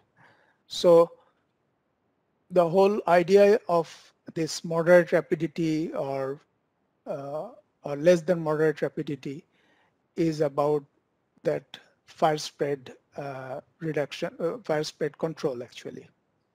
So that is what is meant by moderate rapidity. Um, why there is a difference between occupancy of assembly with or without fixed seats? Well, um, uh, actually think about two situations. One is a, uh, is an auditorium or a cinema hall where we have fixed seats and say uh, 500 persons. Uh, accommodating in the same hall and think of a say mosque uh, where we don't have any fixed seats it is an open floor uh, with same amount of persons in case of fire which one will be safer uh, or easier to evacuate from so um, uh, the whole classification is also about safety of people uh, and uh, therefore the uh, criteria of fixed seats and without fixed seats actually comes in. Um, the question here is refueling station could be in the group of hazardous building occupancy J, J. I think refueling station should be in group J1 explosive in nature or J2 material composition being explosive in nature, why refueling station is categorized in F3? Please explain. Okay. Actually, uh, refueling stations uh, uh, also need a permission from our um, Bishforak Adhidaptor. Uh, and um, the, uh, the the code here uh, uh, categorize it as F3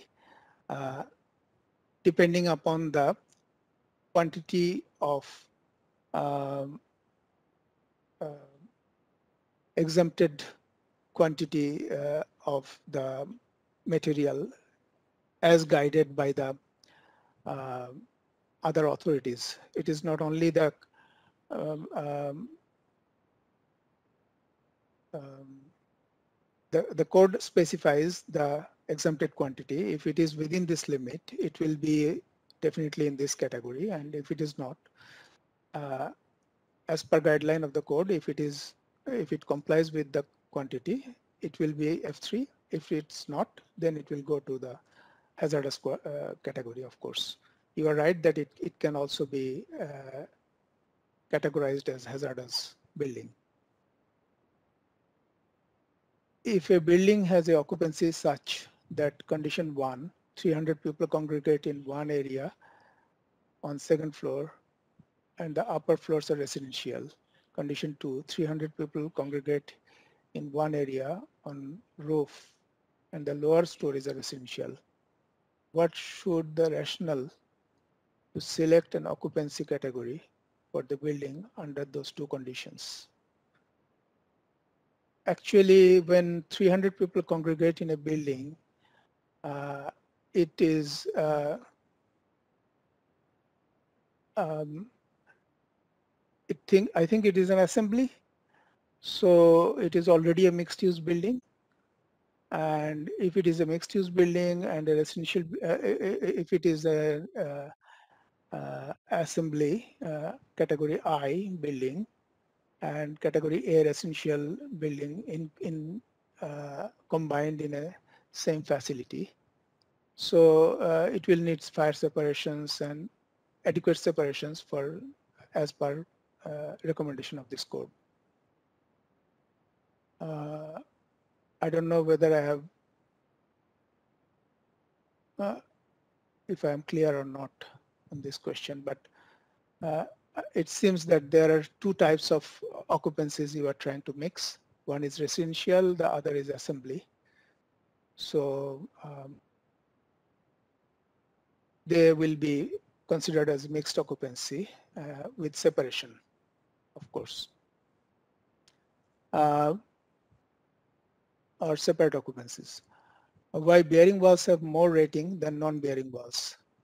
Well, uh, bearing walls are the main elements that transfer the loads of the building, of the structure, and it is uh, uh, it is uh, needed for safety of the property and the occupants uh, that the bearing wall lasts long in an emergency situation, in a fire situation. So bearing walls uh, need to be rated more than non-bearing walls. Non-bearing walls uh, can be partition walls with uh, other materials, but bearing walls need to be uh, a well-rated material which resists fire for much longer time. Uh, does any special consideration for fire rating designing steel structure? Well, I think uh, your question will be answered in part four discussion. Uh, better answered will uh, will be better answered there. Uh, we we don't we are not going through this detail here. Um, so uh, from now on, it is necessary to mention that fire rating of buildings on drawings, element-wise. Okay, it is up to the uh, authority uh, because they will indicate uh, the um, development permit. Uh, they will they will ask for a particular type of construction and a particular occupancy. Uh, for a particular project. Um, it is it is up to their format what they will require or not. But it is on the professionals' um, uh, responsibility, and it was as was, as as always that um, we abide by the code uh, and uh, and we we we draw and specify and construct buildings uh, according to the code. So if we if we want to make some construction uh, on a site from a drawing board, probably we need to specify uh, um, material um, specifications, probably where fire rating is also a, one of the elements um, in the in the uh, drawing board. So I think it is somewhere it will be uh, directly or indirectly included. What is the importance of occupancy category in seismic of structure? Well, uh, uh, it, the construction uh, uh, classification is more related uh, to the fire and seismic situation, uh, definitely. But occupancy has a very indirect connection in a sense that when a building is occupied by many occupants in, in seismic situation, what will be the emergency evacuation procedure uh, and like other safety measures uh, will be considered in those occupancy categories. What is the guideline for steel structure, both low-rise and high-rise? Actually, we are uh, not discussing material uh, in detail in this presentation. Uh, why building code separate A1 and A2? Is there any separate provision in BNBC? Uh, well, uh, this uh, is a common typology, uh, quite uh, common, quite commonly found in Bangladesh, where there are single family houses, there are two family houses, and there are multi-family houses. So for, for smaller construction in, in many rural or semi-urban areas, we have uh, A2 typologies which were now subdivided into a new category. Uh, and um, probably uh, with the provision of uh, row type or semi-detached type construction, it will help to increase uh, densities if necessary in the long run. So what steps should be taken should be needed when the structure is defined as it not occupancy, the occupancy category as per BNBC. Uh, I'm not very clear about this question. What steps should be needed when the structure is defined as it not occupancy, the occupancy category as per BNBC. Um, I'm not very sure about it, what it means. Um, if fulfill the all code, project cost will be high. Therefore, what is way of cost minimize? uh, the code, building code deals with the safety of life and property. So it is uh, uh, up to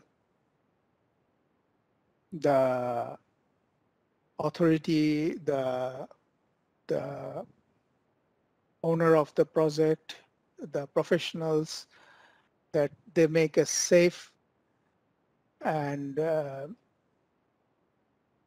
habitable structure uh, within a reasonable cost, of course.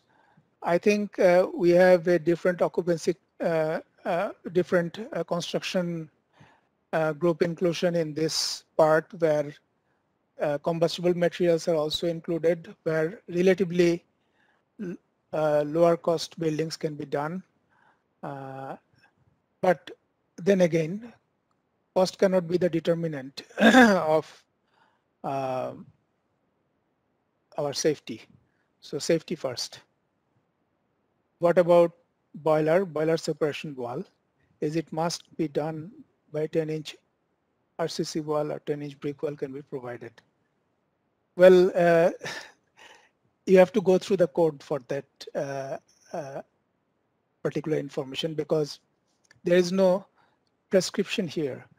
Uh, for for any uh, component that has a explosion risk or fire risk, it has to be separated.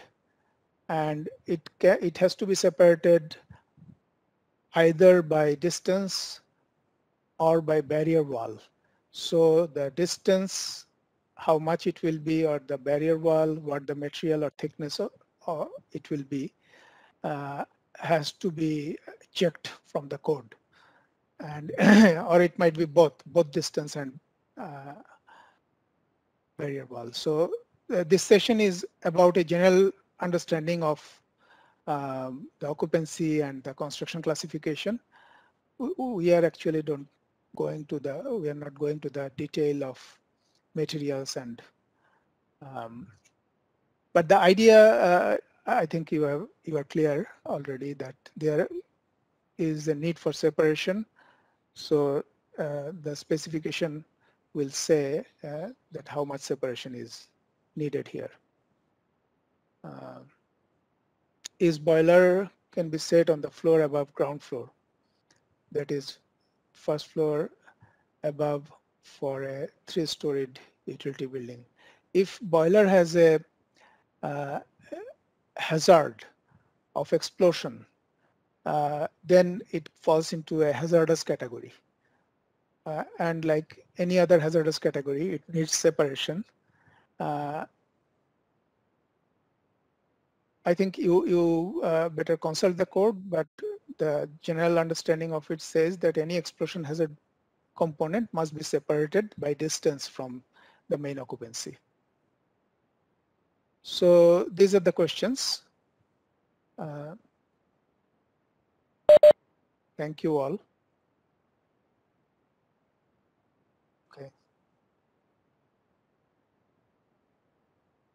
Yep. Yep.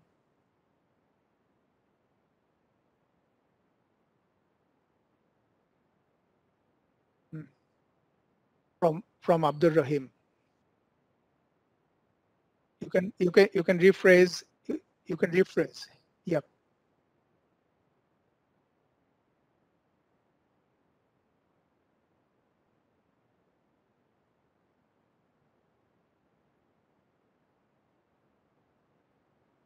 Well, there are two more questions. One is about mixed occupancy, non-separated use. Uh, I think I have explained it uh, again, but um, yeah.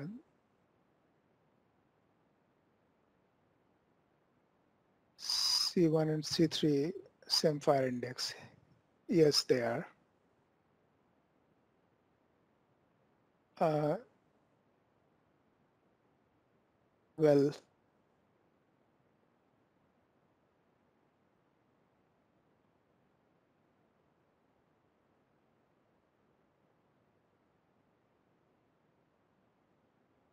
well uh, uh, let me let me uh, answer the question of C1 and C3 first.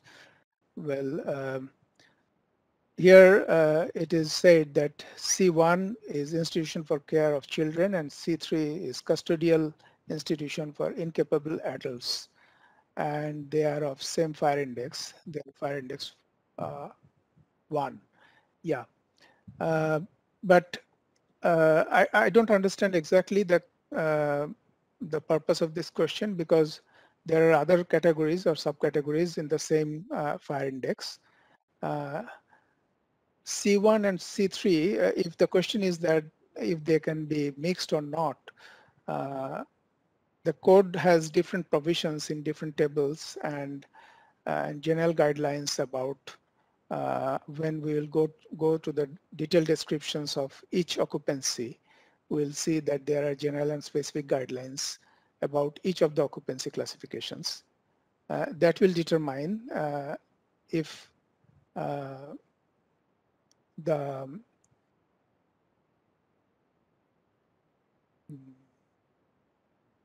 if uh, they can be mixed or not. Uh, so uh, I think if you are asking about the uh, whether they can be mixed or not, uh, the that will uh, need further investigation. But basically, the information we have given there is a table that determine the separation hours between them, describes if they can be uh, used together or not. Okay, uh, there is a question. My query is why code separate A1 and A2 in BNBC? In full BNBC, there are no separate provisions for A1 and A2, I think according to the occupancy category. Okay. Um, I think this is done in in in uh, uh, in terms of uh, encouraging uh, a, a, relatively higher density situation or moderate density situation in our context. Um, they they have uh, more or less all all occupancies of A1, A2, A3, A4, A categories have many similar uh, similarities. A1, A2 are similar, of course, but they have some uh, differences as well. Uh, if you go through the code, you can find it. Uh, why since there is inability issue? Uh, actually, I don't understand. Uh, if it is when if you are uh, indicating about disability or something, well, there is a separate segment in part three which deals with differently able people. So it is there. Uh, we are just not covering it today. What steps needs to be taken when it is observed that the structure is not made with maintaining occupancy category as per BNBC? Well, it is up to the enforcing authority.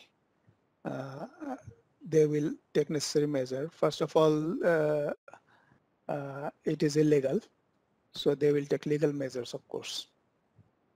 Uh, is there any height limitation for construction I1 a and one B, IA and IB. Well, we'll detail, uh, we'll discuss in detail in the uh, in tomorrow's presentation about the height and other limitations. Uh, for for high-rise construction, uh, we have mentioned that uh, it has to be at least uh, one B category construction. so one A also is there. Um, both can be done. Uh, but the code uh, in this part, at least in part three, it doesn't specify separate height limitations. Uh, we have to investigate in part four if there is any uh, bindings for that or not. Thank you.